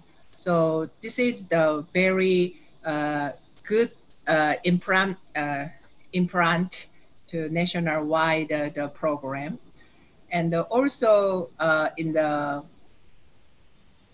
uh, I would like to recommend uh, and the first stage the digital bridge the digital divide the university contributed uh, uh, running computer for older person because the university has a lot of facility so they invited the older person in a Saturday or the Sunday uh, uh, without the students, they uh, sharing the spaces to running the technology and then the PC program, something that.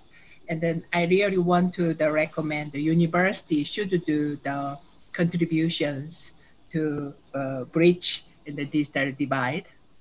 And the second questions, uh, in uh, the this pandemic, uh, the smarter aging is very useful. So the, our older person get the informations from smartphone, and also they uh, uh, the home shopping, the house to house, and then very isolated uh, our older people. So the this shopping and also the information is a very good working as a, the smarter aging programs, and also uh, in Korea, the health services uh, connected with the smarter aging is very important.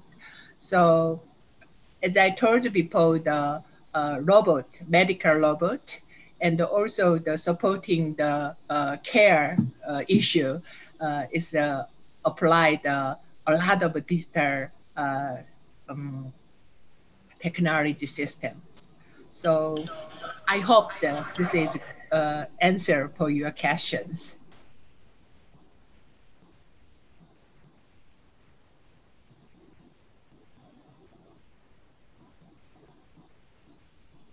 Hello?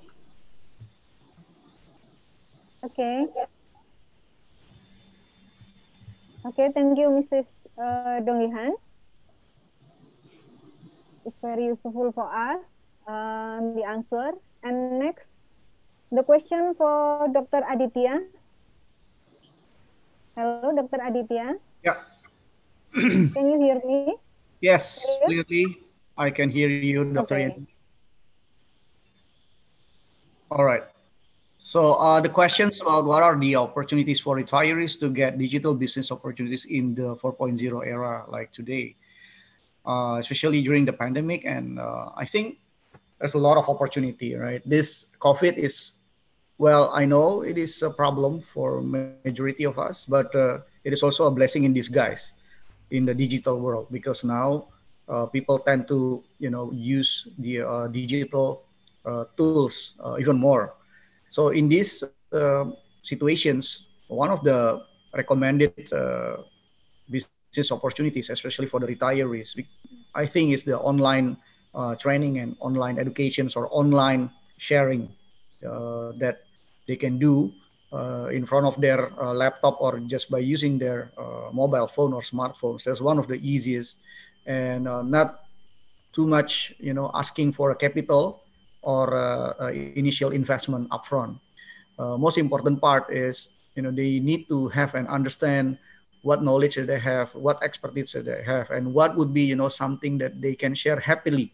You see, it has to be, you know, strong enough to put it in their heart I want to share this happily because if they are not uh, happy enough to share that and then you know they they don't have the the enough energy to make it into a business later in the later stage you know but if they can do it happily meaning that whether it get paid or not they will still doing it then it is a matter of finding the right demand for people to come and then pay for the services right and for that uh, one of the things that can do is to find the right marketplace.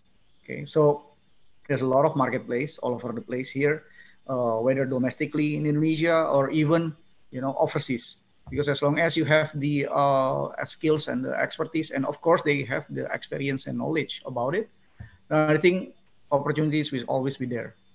Uh, like one of my friends uh, also just retired but he has a lot of friends from overseas and uh, his friends from overseas wants to inject money inject capital and doing business in indonesia so this guy uh, is becoming the arranger for the funding to come into indonesia so that's one of the you know kind of stuff they, they can do because of the network that they have the experience. But one thing to note is um, digital world uh, will give a lot of leverage for whatever that they have.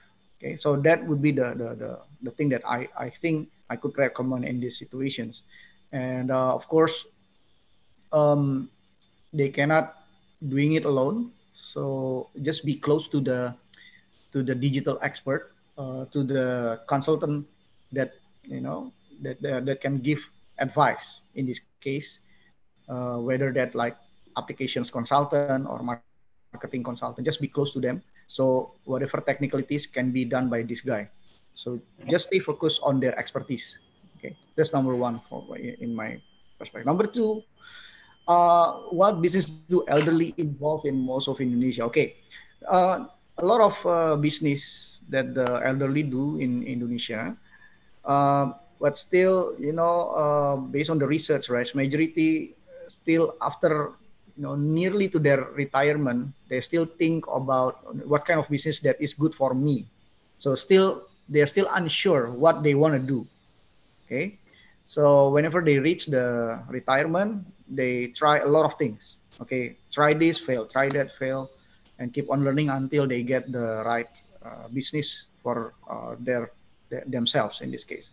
But um, majority of them, if I can uh, share with with you, is you know in Indonesia, uh, again it is back into the situations because typically they have house and in the house with uh, you know some rooms and their kids is not in the house anymore so they rent the rooms so that that is a very like uh, in indonesia we call it kos kosan yeah? so that's a kind of a very simple business that, that they can do so they rent the the room for others so that's one of the things that the, this uh, retired uh, person do uh, majority, majority in indonesia secondly is um, this is related uh, with the business. Uh, not sorry, with not the business. We related with the hobby, and also uh, close enough correlated with the COVID situation right now. So everyone right now, there is a shift of uh, orientation for the retirees to start doing the you know the culinary business right now.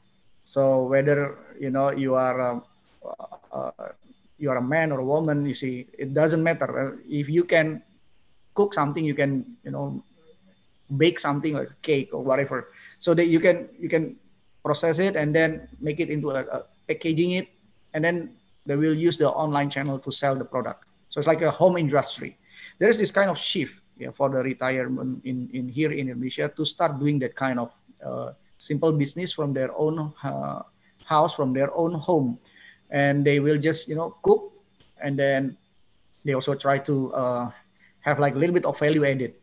Or if let's say they don't want to do it, so there's also an increase, increasing demand of doing what we call a frozen food business or what I call, uh, because I, I, I'm doing it also myself and uh, some of my clients is actually an elderly and also a pension guy is what we call the cloud kitchen and uh, uh, frozen food cloud kitchen. So they need to just, you know, prepare for the freezer and also for the property here. Uh, and then uh, connect them with the supplier. So the supplier will send them the frozen food. So the freezer can be stored there.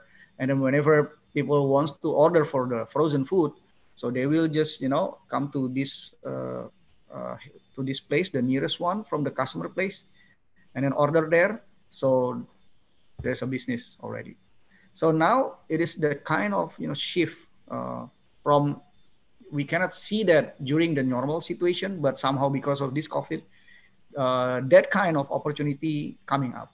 So I think there is like uh, three things that is happening, uh, and uh, that's also happening in the elderly segment. Thanks. Thank you, Mr. Aditya. And this is the second question from Mrs. Lilis HM Cici from University of Indonesia. Thank you, Mr. Lilis HM Cici. And this question for Mrs. Ani Nuraini. Yeah. Please show the question, please. Please answer. Okay. Please show the question, please. Show the question. Because in the with uh, the question, please show me the question.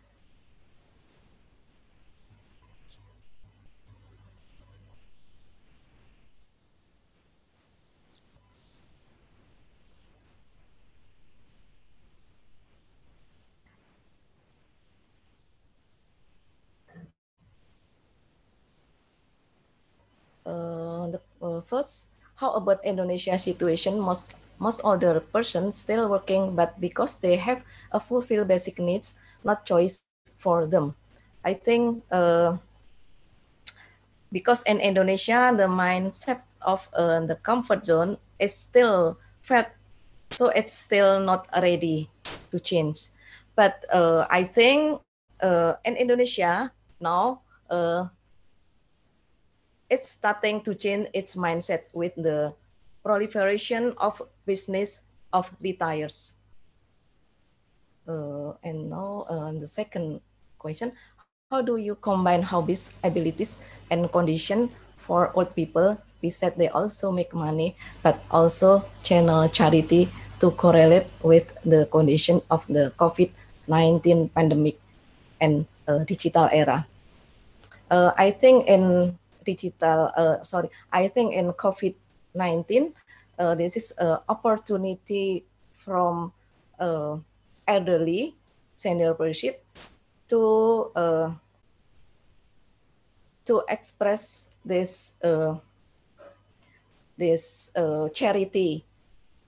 They make a business to give a charity. So uh, uh, this is a challenge challenge for us how to literation, how to education uh, all elder people to make a business. I think this answer. Thank you very much. Okay, thank you, Mrs. Ani. Uh, thank you all speaker, Mr. Dong Han, Mr. Aditya, and Mrs. Ani Nuraini for the answer. It's very useful for us. And we will continue to the next uh, session with the three speakers. The fourth uh, presenter is from Mrs. Desmiwati. She will deliver a topic about promoting the development of gerontology in the curriculum. Mrs. Desmi is Dean of the Faculty of Information Technology. And this is the curriculum vitae. Her organization is Association of Higher Education, Informatics, and Computer Science, Association for Information System Indonesia, Higher Education Organizer Alliance. And her experience is uh, Dean of the Faculty of Information Technology. Mrs. Desmi, it's time to deliver your presentation. We give you 20 minutes to deliver it. Please, uh, time and place are welcome. Hello, Mr. Mrs. Desmi. Yeah, hello. Hello, Mrs. Desmi. Yeah. yeah, hello. Yeah, hello. Okay. Controller. Hello. Yeah, hello.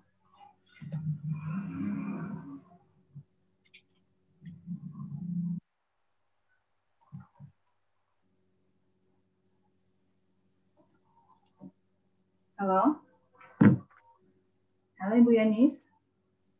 Terdengar saya? Yes, Mrs. Desmi. Baik, Okay. terima kasih. Terima kasih Ibu Moderator. Bismillahirrahmanirrahim. Assalamualaikum warahmatullahi wabarakatuh. Eh, Selamat siang yang terhormat Ibu Rektor yang tidak pernah eh, capek-capeknya memberikan motivasi kepada kita semua. Kemudian Bapak dan Ibu narasumber, serta Bapak Ibu peserta webinar. Saya akan menyampaikan dalam bahasa Indonesia terkait topik promoting the development of gerontology in the curriculum.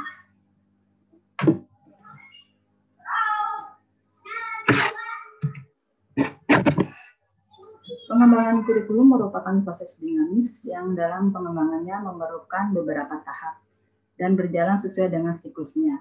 Ditetapkan, diperbaiki sesuai dengan perkembangan baik di dalam maupun di luar institusi pendidikan. Berbagai hal yang mempengaruhi perkembangan kurikulum antara lain uh, public health, teknologi, ekonomi, culture, dan politik. Pada, pada kesempatan ini lebih ditekankan pada masyarakat lansia, khususnya perubahan-perubahan harapan mereka, ekspektasi dalam kehidupan sehari-hari. jika kita lihat populasi uh, lansia di Indonesia seperti pada gambar piramid uh, sumber dari WHO pada tahun 1980 sampai 2020 nyata sekali perkembangannya yang sangat signifikan dari jumlah atau populasi lanjut usia yang pasti akan mempengaruhi kondisi ekonomi dan kesehatannya, terutama juga kenyamanan hidup para lansia. Apa harapan lansia di Indonesia berkembang, termasuk di dunia yang sebetulnya konsekuensinya adalah bagaimana merawat lansia. Eh, sebagian besar pada lansia sangat mengharapkan hidup di rumahnya sendiri, tidak di rumah jompo, dan sedapat mungkin selama mungkin sehingga merasa bebas dari hidup di tempat yang sangat familiar. Masyarakat lanjut usia ingin hidup dan menjalani kehidupannya dalam lingkungan yang sangat dikenal oleh lansia, nyaman, dan mudah dikendalikan oleh lansia sendiri. Lansia dalam kehidupannya yang sendiri berisiko terjadinya cedera saat melakukan kegiatan sehari-hari, dan ini harus dipertimbangkan dengan kehidupan lansia yang tidak mau bergantung kepada orang lain. Jatuh merupakan peristiwa yang menandai awal penurunan fungsional, dan jatuh sering menjadi awal dari arah kematian. Makin banyak lansia yang lemah dan disabilitas yang membutuhkan dukungan sosial, rumah, dan pelayanan kesehatan, baik dalam jangka pendek maupun jangka panjang. Untuk itu perlu dikembangkan sebuah eh, rumah yang sesuai dengan kebutuhan mereka, yaitu dapat memonitor dan memantau dengan menggunakan teknologi yang canggih. Nah, untuk memenuhi kebutuhan tersebut telah dikembangkan Jerome Technology. Jalan teknologi dibutuhkan untuk memenuhi kebutuhan masyarakat lansia. Dengan demikian, kita harus tahu apakah hubungan teknologi dengan kebutuhan komunitas lansia. Adalah Jerome Technology diperlukan untuk mengidentifikasi dan menghambat efek penuaan yaitu efek dari menurunnya kemampuan persyaratan dan persyarapan dan otot untuk pergerakan. Jarum turi juga digunakan untuk memonitor dan mengevaluasi kegiatan keseharian dan meningkatkan pengelolaan mandiri secara aman. Peralatan yang dapat digunakan oleh lansia, peralatan yang memberikan alarm secara personel jika terjadi sesuatu. Misalnya, begitu jatuh langsung memberi kabar ke tempat yang dapat melayani atau itu memberikan kabar berbagai kegiatan lansia, termasuk apabila terjadi kecelakaan di kamar mandi. Untuk itu perlu diperguna, digunakan sensor wireless kabel, sensor yang langsung dimonitor dari jauh, dan sensor tersebut diletakkan sebagai pakaian yang terus-menerus digunakan. Untuk teknologi, untuk teknologi yang demikian itu biasanya berbasis pada teknologi ICT, Artificial Intelligence, uh, kemudian tadi juga sudah disampaikan oleh uh, Dok, uh, Mrs. Donghi keterkaitan dengan uh, penggunaan teknologi pada untuk lansia. Uh, selanjutnya kalau kita lihat bahwa segala macam kegiatan yang bisa dimonitor di dalam sebuah rumah yang disebut smart home tadi juga disampaikan oleh Ms. Donghi, di mana rumah dilengkapi dengan berbagai peralatan yang tujuannya untuk mengamankan lansia dan dapat memantau kondisi kesehatannya. Gerontologi akan sangat terlihat mempengaruhi pendidikan yang harus dirancang agar hasilnya agar menghasilkan akademisi yang bisa mengembangkan geron teknologi. Selain itu juga bisa dilakukan beberapa program yang diminati yang bukan wajib tetapi elektif antara disiplin ilmu untuk dihasilkan akademisi yang bisa mengembangkan jarum teknologi. Institusi membuat institusi membuat suatu program peminatan yang pendekatannya antar disiplin ilmu dan jika mungkin dilakukan secara integrasi. Dengan demikian, akan terlihat bagaimana kaitan kebutuhan masyarakat lansia yang didukung oleh gerontologi dan bagaimana kurikulum higher education harus untuk menghasilkan para akademisi atau graduate yang bisa mengembangkan geron teknologi. Untuk itu, tujuan pendidikan atau capaian pembelajaran yang dilakukan pada program peminatan dalam jarum teknologi antara lain misalnya, mereka bisa menguraikan faktor-faktor yang berkaitan dengan keberhasilan solusi jarum teknologi.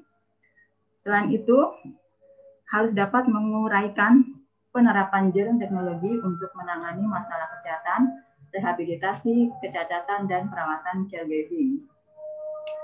Dengan dan capaian pembelajaran pada program elektif ini mampu merancang program-program intervensi yang bisa mendukung analisis hasil-hasil kegiatan listrik jantung yang dikenal elektrokardiografi, kegiatan listrik di otot yang dikenal myografi, dan kegiatan kognitif yang dikenal elektroencephalografi. Hmm, selanjutnya, topik antara lain terdapat dalam program pilihan, yaitu uh, misalnya biometrik bagi lansia termasuk anatomi, fisiologi, ergonomik, kinesiologi alias ilmu gerak badan gerak pada orang tua yang tentu sangat berbeda dengan anatomi fisiologi pada dewasa, muda, apalagi anak-anak. Peran dan fungsi gerontologi tentunya dalam memberi pelayanan perawatan, rehabilitasi, maupun pemantauan yang terus-menerus selama lansia hidup di rumahnya sendiri. Lima aspek gerontologi dalam peningkatan tingkat taraf kesehatan, pencegahan, lalu mengkompensasi menjadikan lansia menjadi lebih baik, misalnya berolahraga. Tidak lepas dengan riset untuk pengembangan selanjutnya. Aplikasi teknik di bidang kesehatan dan di bidang perawatan di dalam rumah, eh, karena semuanya kegiatan dimonitor, maka jelas akan terkait dengan persoalan etik yang perlu dilakukan penelitian lebih lanjut. Misalnya, jatuh di kamar mandi tetapi juga harus dimonitor terus supaya tidak terlambat penanganannya.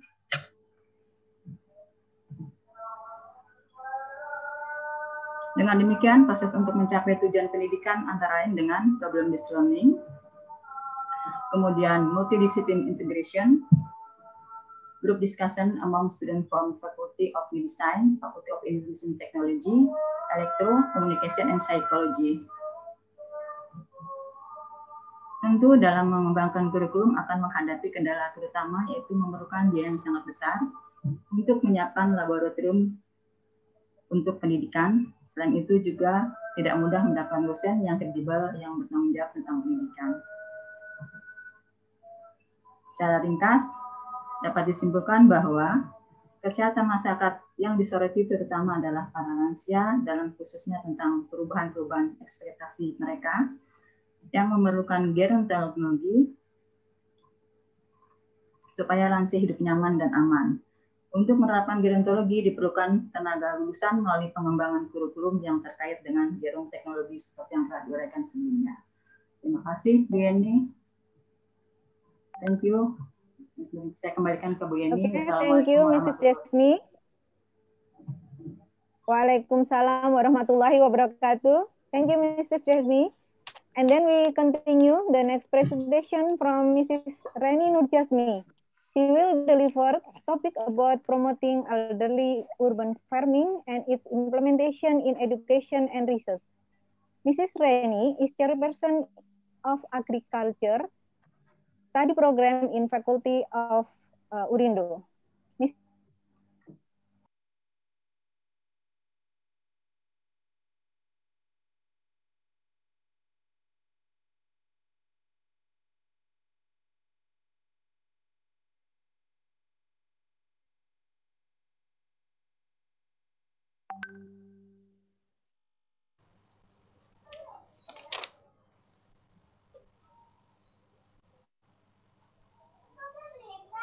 Mrs. Rani, please time and place is yours.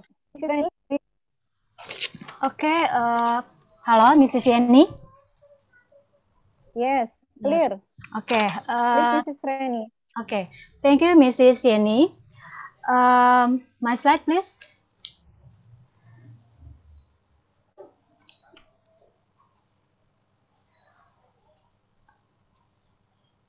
Halo, my slide please.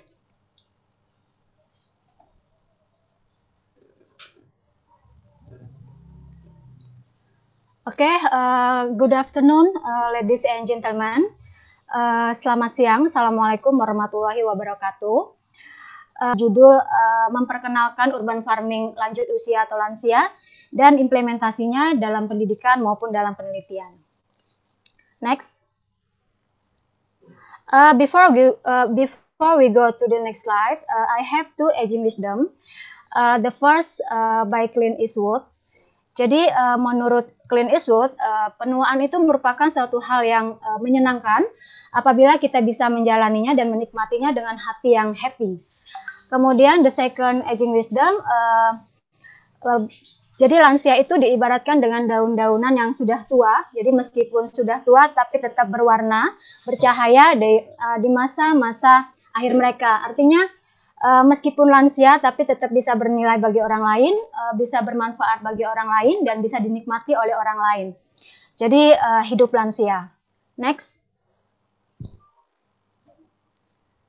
Oke, jadi ini uh, urban elderly population. Sedikit saja, uh, saya ingin membahas tentang uh, percentage of elderly population in the world, Asia and Indonesia in 1950 until uh, 2050. Jadi ini uh, grafik satu menggambarkan uh, persentase populasi uh, elderly di dunia, Asia dan Indonesia.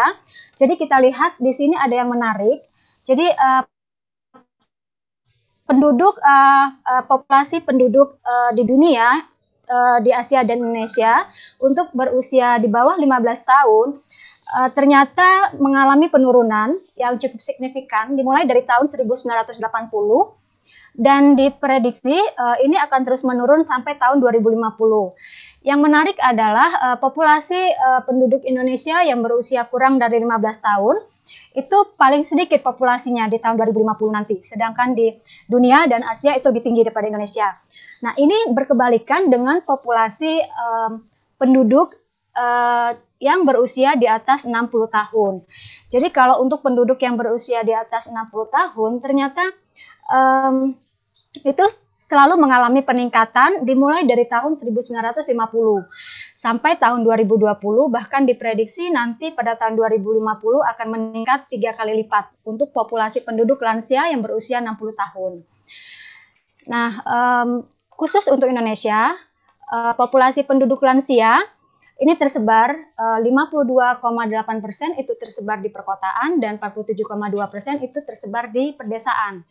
Nah, jadi jumlah populasi lansia yang berada di perkotaan itu lebih banyak daripada di uh, perdesaan.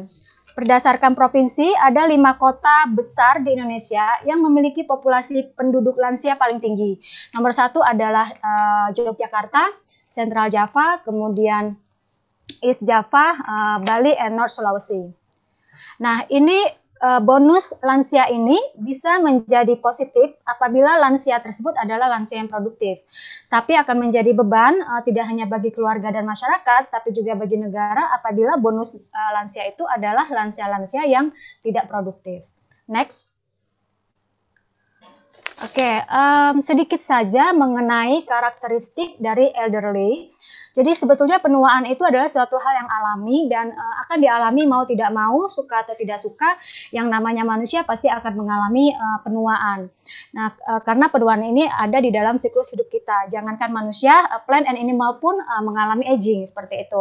Nah, jadi ciri-ciri uh, aging itu uh, adalah menurunnya kemampuan fisikal, psychological, cognitive, and social aspect of life dari lansia. Jadi um, kondisi ini apabila tidak bisa di-manage oleh uh, lansia itu akan menyebabkan terjadi depresi. Nah, nanti depresi yang kemudian akan berlanjut pada penyakit fisik pada lansia. Nah, late life depression is a crucial public health problem because it can increase the risk of morbidity, suicide, and decrease in individual physical, cognitive, and social aspect abilities. Jadi, depresi pada usia lanjut itu merupakan masalah kesehatan publik yang krusial karena uh, bisa menyebabkan uh, meningkatnya res, re, apa, resiko kejadian penyakit atau morbiditas, kemudian ada keinginan untuk uh, bunuh diri, serta menurunkan uh, kesehatan fisik maupun uh, mental dan social functional ability dari lansia. Uh, berdasarkan 74 penelitian dengan melibatkan sekitar 490 ribu elderly di perkotaan, ternyata prevalensi of depression in the elderly, uh, elderly itu di dunia berkisar antara 4,7 sampai 16 persen. Nah, penelitian lain uh, mencakup 1088 uh, elderly di Jakarta, itu prevalensi depresinya bisa mencapai 21 persen.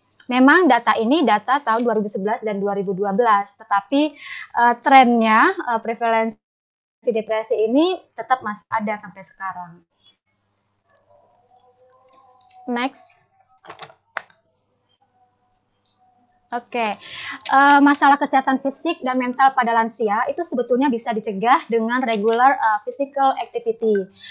Tetapi uh, pada kenyataannya uh, yang terjadi adalah sebagian besar lansia itu 80% waktunya waktu mereka itu dihabiskan untuk uh, berdiam diri tanpa melakukan aktivitas fisik apa pun.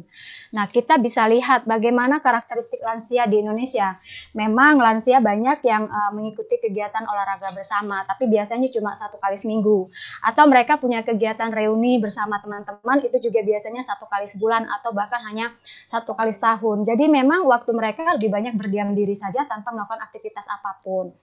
Nah, um, pada umumnya kegiatan fisik jadi uh, regular physical activity yang biasa dilakukan oleh lansia itu pada umumnya adalah hanya olahraga. Sebetulnya aktivitas fisik itu bukan hanya olahraga, bisa juga kegiatan berkebun di perkotaan uh, atau yang kita kenal dengan istilah urban farming. Next. Oke, okay, uh, what is urban farming? Uh, urban farming, the practice of cultivating, processing, and distributing food in or around urban areas. Jadi, uh, praktek atau kegiatan mengkultivasi, memproses, dan mendistribusikan makanan uh, baik di dalam maupun di sekitar area perkotaan. Nah, urban farming is not only about gardening, tapi juga termasuk uh, budidaya ternak, ya, uh, aquaculture, budidaya ikan, kemudian menanam pohon-pohonan atau urban beekeeping, ya, serta uh, hortikultur. Nah, untuk urban farming itu berbeda karakteristiknya dengan periurban atau di daerah uh, pinggiran kota, karena kalau di uh, perkota di uh, urban farming itu memang tempatnya terbatas dan tidak ada lahan-lahan tanah yang kosong. Sehingga untuk melakukan budidaya itu dilakukan misalnya seperti gambar itu di rooftop, jadi di atap eh, gedung-gedung uh, atau atap-atap rumah. Kemudian untuk hewan ternak juga uh, hanya ternak-ternak kecil seperti kelinci, kemudian dibudidayakan menggunakan kandang yang bertingkat. Atau untuk budidaya ikan uh, biasanya menggunakan uh, teknologi aquaponik seperti itu. Nah, untuk materi saya kali ini saya hanya akan membahas gardening uh, di perkotaan saja, jadi budidaya tanaman saja, sedangkan untuk budidaya ternak dan ikan mungkin di lain waktu saja. Next. Next slide please. Oke, okay.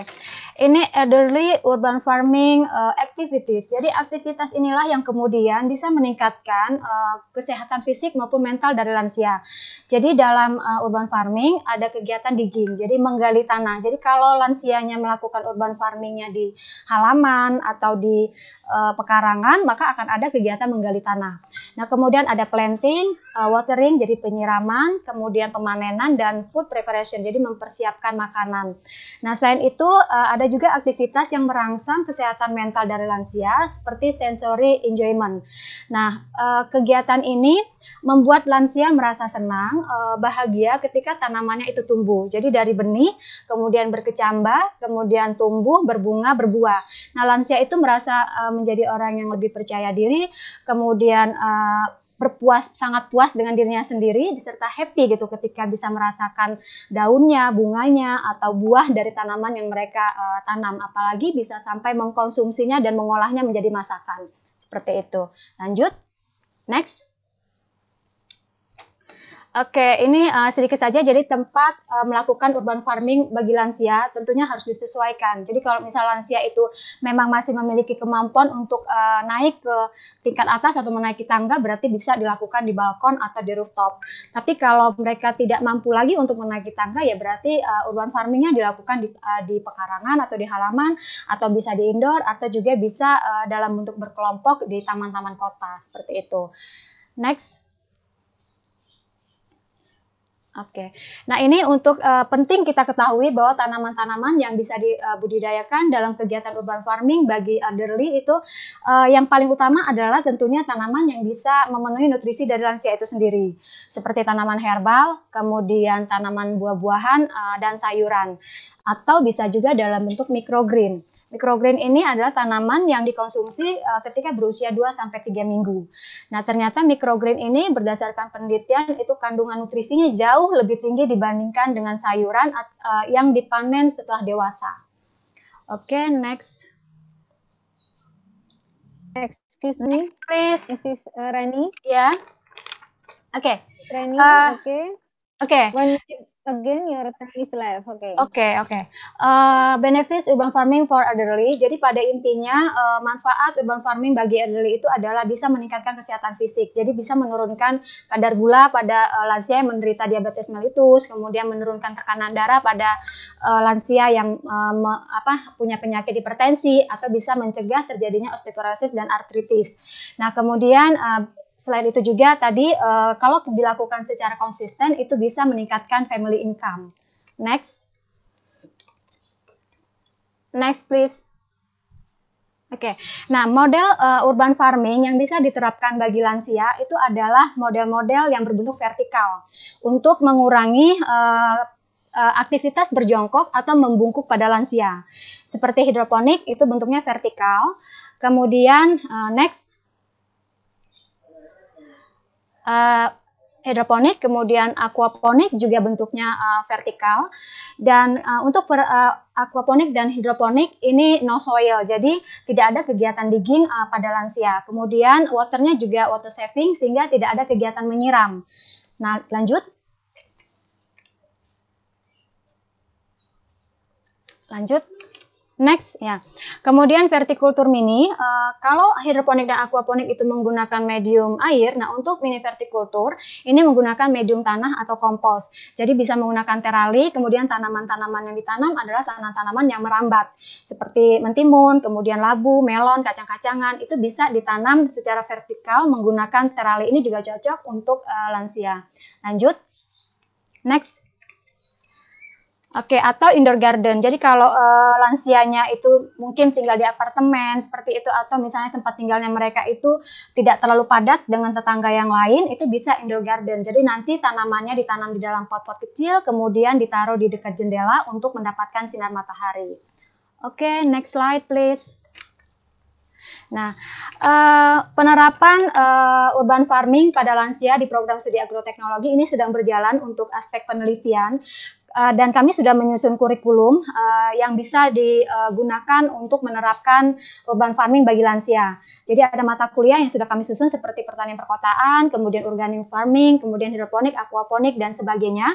Yang ini bisa juga diaplikasikan untuk lansia. Nah, ini sedang akan uh, sedang um, dalam waktu dekat mudah-mudahan bisa kita aplikasikan. Next. Nah, kalau untuk uh, penelitian uh, memang uh, kami belum uh, belum pernah melakukan, tapi jadi kami belum tahu, belum pernah mengkaji aspek uh, bagaimana pengaruh urban farming terhadap elderly, tapi ini akan berjalan. Namun demikian, dosen dan mahasiswa kami itu uh, cukup aktif melakukan uh, pengabdian masyarakat, di mana sasarannya adalah kelompok lansia. Seperti pada gambar ini, uh, ini mahasiswa mengadakan uh, menerapkan urban pada elderly itu di Kebayoran Lama uh, Yogyakarta. Kemudian ada juga hidroponik elderly. Ini dengan sasarannya adalah ibu-ibu dari ICMI uh, Alisa Khadijah DKI Jakarta. Kemudian next slide, please. Nah, kemudian ada juga uh, ini di pusat studi uh, lansia di Universitas Indonesia, kami juga pernah melakukan pengabdian masyarakat uh, dalam bentuk elderly mini garden. Kemudian uh, polikultur polybag ini juga dilakukan di Bambu Apus uh, East Jakarta serta uh, poli uh, yang paling terakhir di bawah ini adalah penerapan urban farming uh, yang dilakukan oleh dosen uh, prodi agroteknologi terhadap uh, lansia yang berkebun di atas atap rumahnya seperti itu. Oke, okay, uh, next. Oke, okay, that's uh, my presentation. Thank you very much. Silahkan. Okay, thank you, Mrs. Reni. Okay.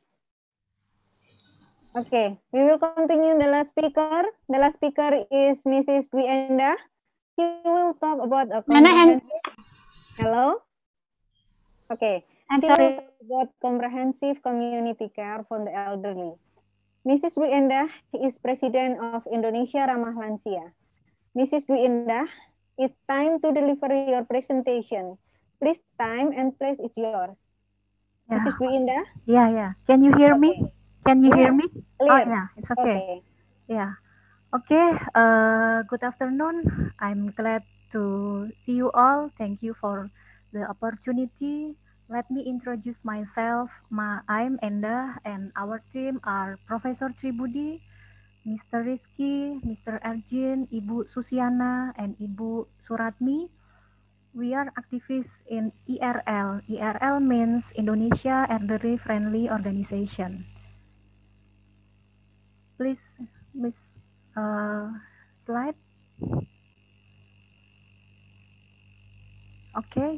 Uh, IRL is NGO that focuses on activities for the elderly in Indonesia. And we have representative office in eight cities in Indonesia, uh, like Jakarta, uh, South Sumatra, East Java, West Java, Yogyakarta, and others. Previous, previous. Yeah. In this chance, I would like to present about comprehensive community care for the elderly. Okay, next slide, please. First, I want to explain about successful aging. Rowe and Kahn, 1997, which is famous model and greatly applied model of successful aging, views aging as a combination of three components such as avoiding disease and disability, high cognitive and physical function, and engagement with life. This concept is highlights as social beings and life progress are influenced by significant others and their life progress. Next, please. Then I want, uh, then I will explain the concept of managing the elderly program in the community level. I think the elderly is not just an object. The elderly can also be the subject of the programs. In addition, it needs to involve family function. Always involve the community. We have a program according to the target, such as uh, informal education, especially for the elderly, caregiver training for elderly families, and social support to improve elderly friendly area. We have a concept of synergy and harmonization program elderly care in the community with three organization models, such as uh, government organization, private sectors, civil social organization, and we need split authority and job description in the implementation of elderly programs in the community. Next slide, please. This is an elderly program. I'm sorry, this is an elderly school program. Elderly school is non-formal education for the elderly in the community. Purpose of elderly school to increase knowledge about healthy, religion, social, and economic, so that the elderly can maintain their independence from health, spiritual, social, and economic aspects. Uh, currently, our student number is uh, 2,700 elderly, and 400 of them have graduated. The oldest graduate is 104 years old. Elderly school makes the elderly happy because the activity is once a month for one hour. The elderly only attend school one day and 29 day off. So maybe make me uh, want to meet, uh, make me miss want to meet. Okay, next please. This is seven dimensions of elderly school program with a multidisciplinary approach.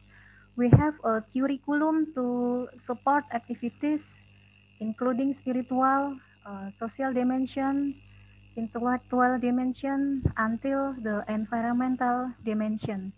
Uh, so that multi uh, so that multidisciplinary can support the activities of this elderly school. Okay, next slide. In this slide, I want to talk about uh, long-term care in the community. Uh, in developing countries uh, such as Indonesia, providing home and community long-term care can enable older person with care needs to stay at home as long as possible. This can help greatly to improve their situation. We have program caregiver informal training. Training program for uh, families caring for elderly with moderate until total dependency. And the purpose of caregiver informal training are able to care for the elderly at home with the family and improve the independence and quality of life of the elderly at home. We have curriculum of caregiver informal training is once a month. For basic level, we have 12 materials. Each activities uh, one, uh, one to two hours.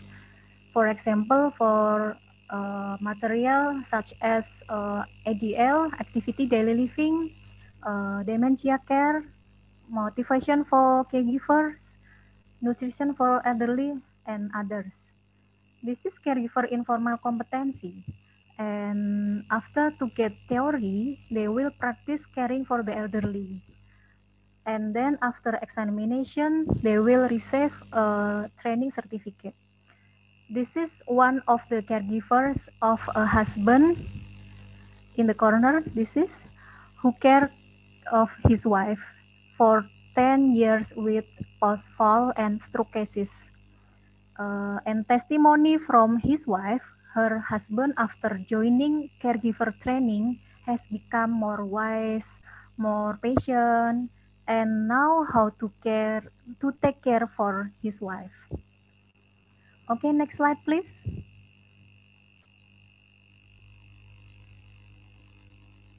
The third is Dementia Care Corner. This program implemented in Posyandu or Posbindu PTM.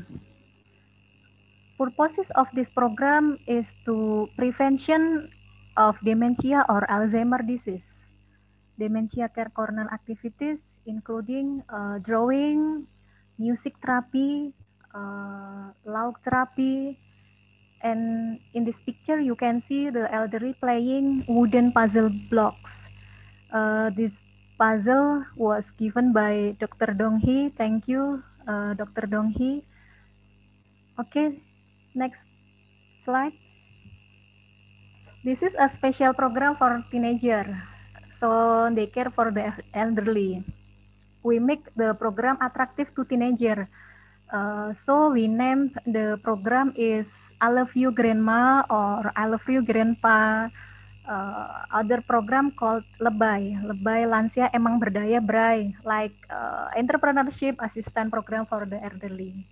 Uh, I think this program is including intergenerational, uh, whereas his grandchildren pay attention to the elderly, give, give or make elderly happy.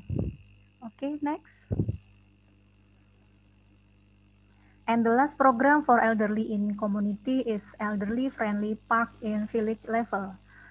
Elderly friendly village is an area to increase the elderly comfortable living in there. In garden, in the garden, the elderly can do exercise, uh, gardening, uh, chat with other people, so that there is interaction between the elderly and the community in the park there is also an educational board for caring for the elderly. Okay next.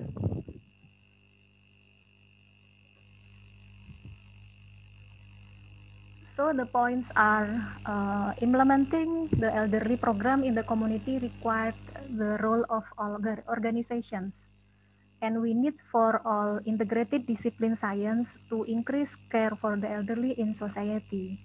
And we need commitment of family, uh, community commitment, and young generation to supporting elderly program innovation to be sustainable. Thank you so much for your attention. I would like to apologize if there is a mistake. I hope you have a nice day. Thank you. Thank you, Mrs. Dwi Indah. Ladies and gentlemen, we continue the second discussion.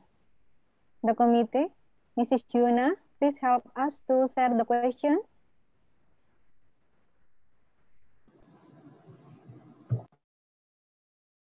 Okay, there are some questions for all speaker. Mrs. Desmi, do you still Ya,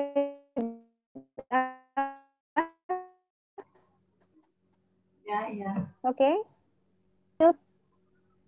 Okay, thank you. Thank you. Uh, question. How to prepare the background of gerontology in Urindo to decide leader be effective? Uh, saya akan mencoba menjawabnya dari pertanyaan tersebut bahwa kedengarannya Ibu ya? Terdengar Ibu? Clear. Ya. Clear, clear. Oke. Okay. Ya, ya.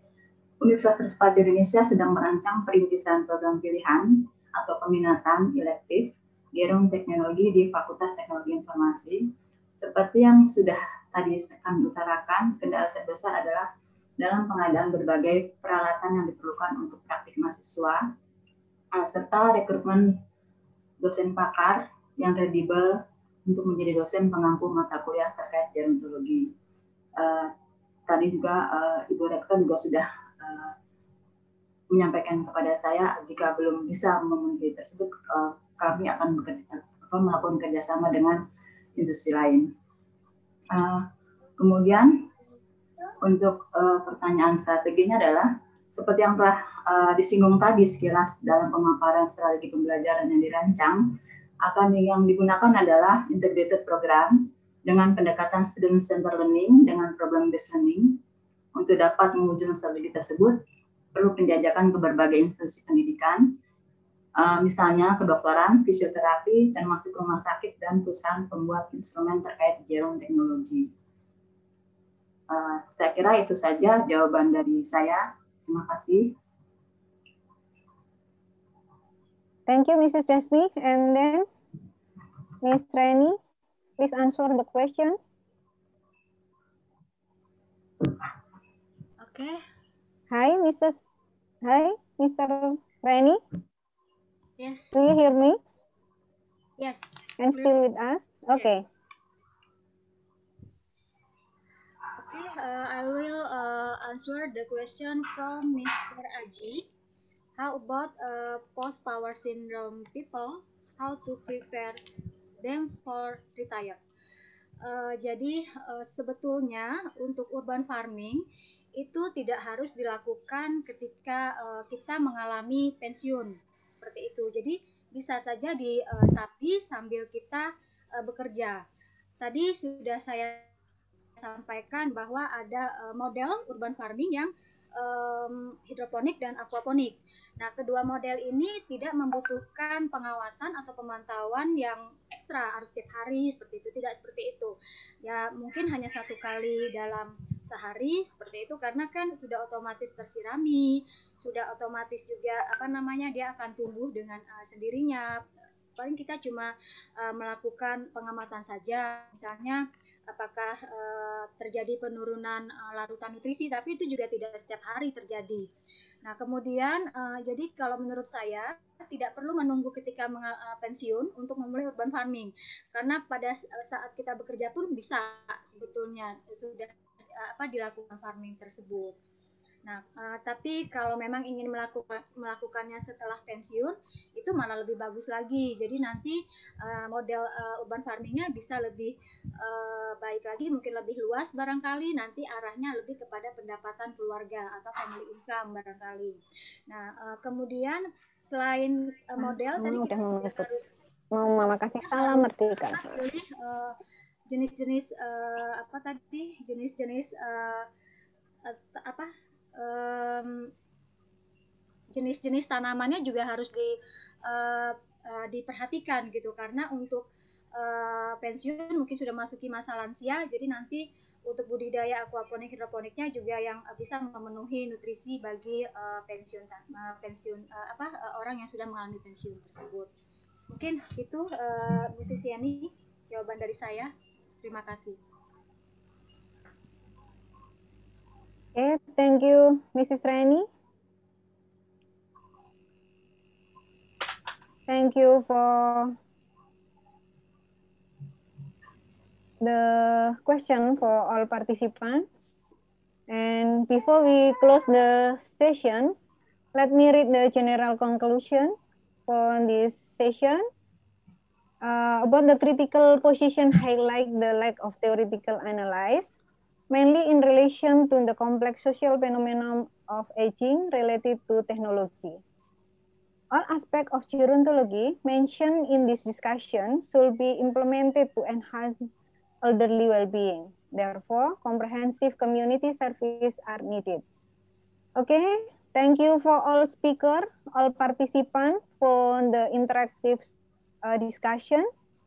And before I send back to MC, let me give salam merdeka. Wassalamualaikum warahmatullahi wabarakatuh. Waalaikumsalam warahmatullahi wabarakatuh. Warahmatullahi Foto bersama mungkin Bu Yeni. Saya tutup dulu sebentar. Saya tutup. Oh Mbak Tia ya. Oke. Yes. Thank you very much Dr. Yeni Sulistiawati as moderator. Uh, Dr. Honggi Hong, Dong Hihan, Dr. Aditya Gali Prihartono, Dr. Anda Nuraini, Mrs. Desmiwati, Mrs. Rani Nurjasmi, Mrs. Dwi Enda for the discussion and interesting webinar. Finally, we came to the end session of the webinar. Thank you to all speakers, moderator, Respati Foundation, Academician College for the great support and for all the participants. To close the program, let's recite Hamdalah together. Alhamdulillahirabbil Okay. Finally, from the depths of my heart, I do apologize for my mistakes in presenting this event and all the committee. Thank you very much for participating in today's webinar. We hope to see you again next time. Wassalamualaikum warahmatullahi wabarakatuh. And now, and now we will take a picture. Please, uh, Mas Izzy, uh, dihitung. Mas Izzy, uh, kamera on. Posisi, tangannya, posisi tangannya seperti apa Mbak Tia? Uh, gini, boleh? Gimana Mas? Boleh? Thank you, Donkey. Thank you you. all. Two thumbs Amazing. up. Amazing. Ini. Two thumbs up for Like all participants. Yes. Okay. okay. Yeah. Okay, please wait. Next slide. Okay. Okay. Okay. Two. Please wait.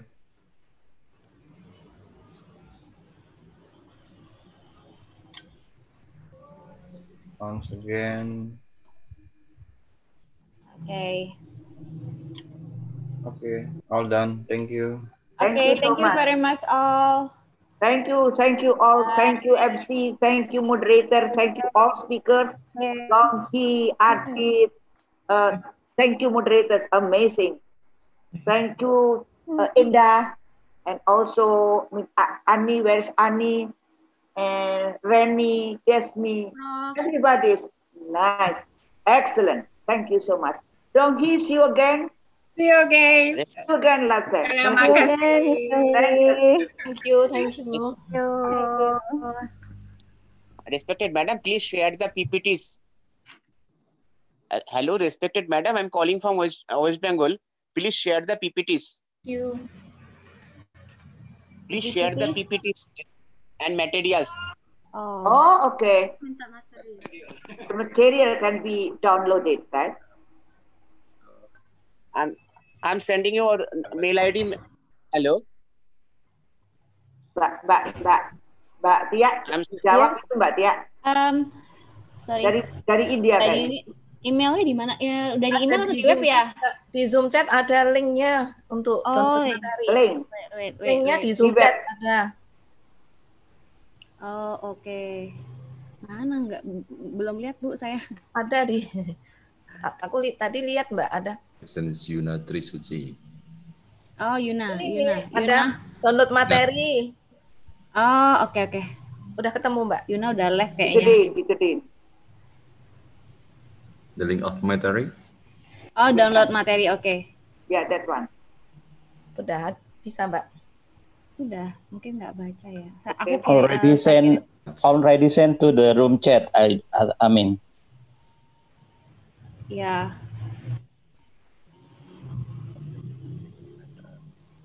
Ya. Hello, madam. Please share the PPTs. Uh, Yeah, Mr. already on group chat. Already I yeah, sent in yeah, group chat.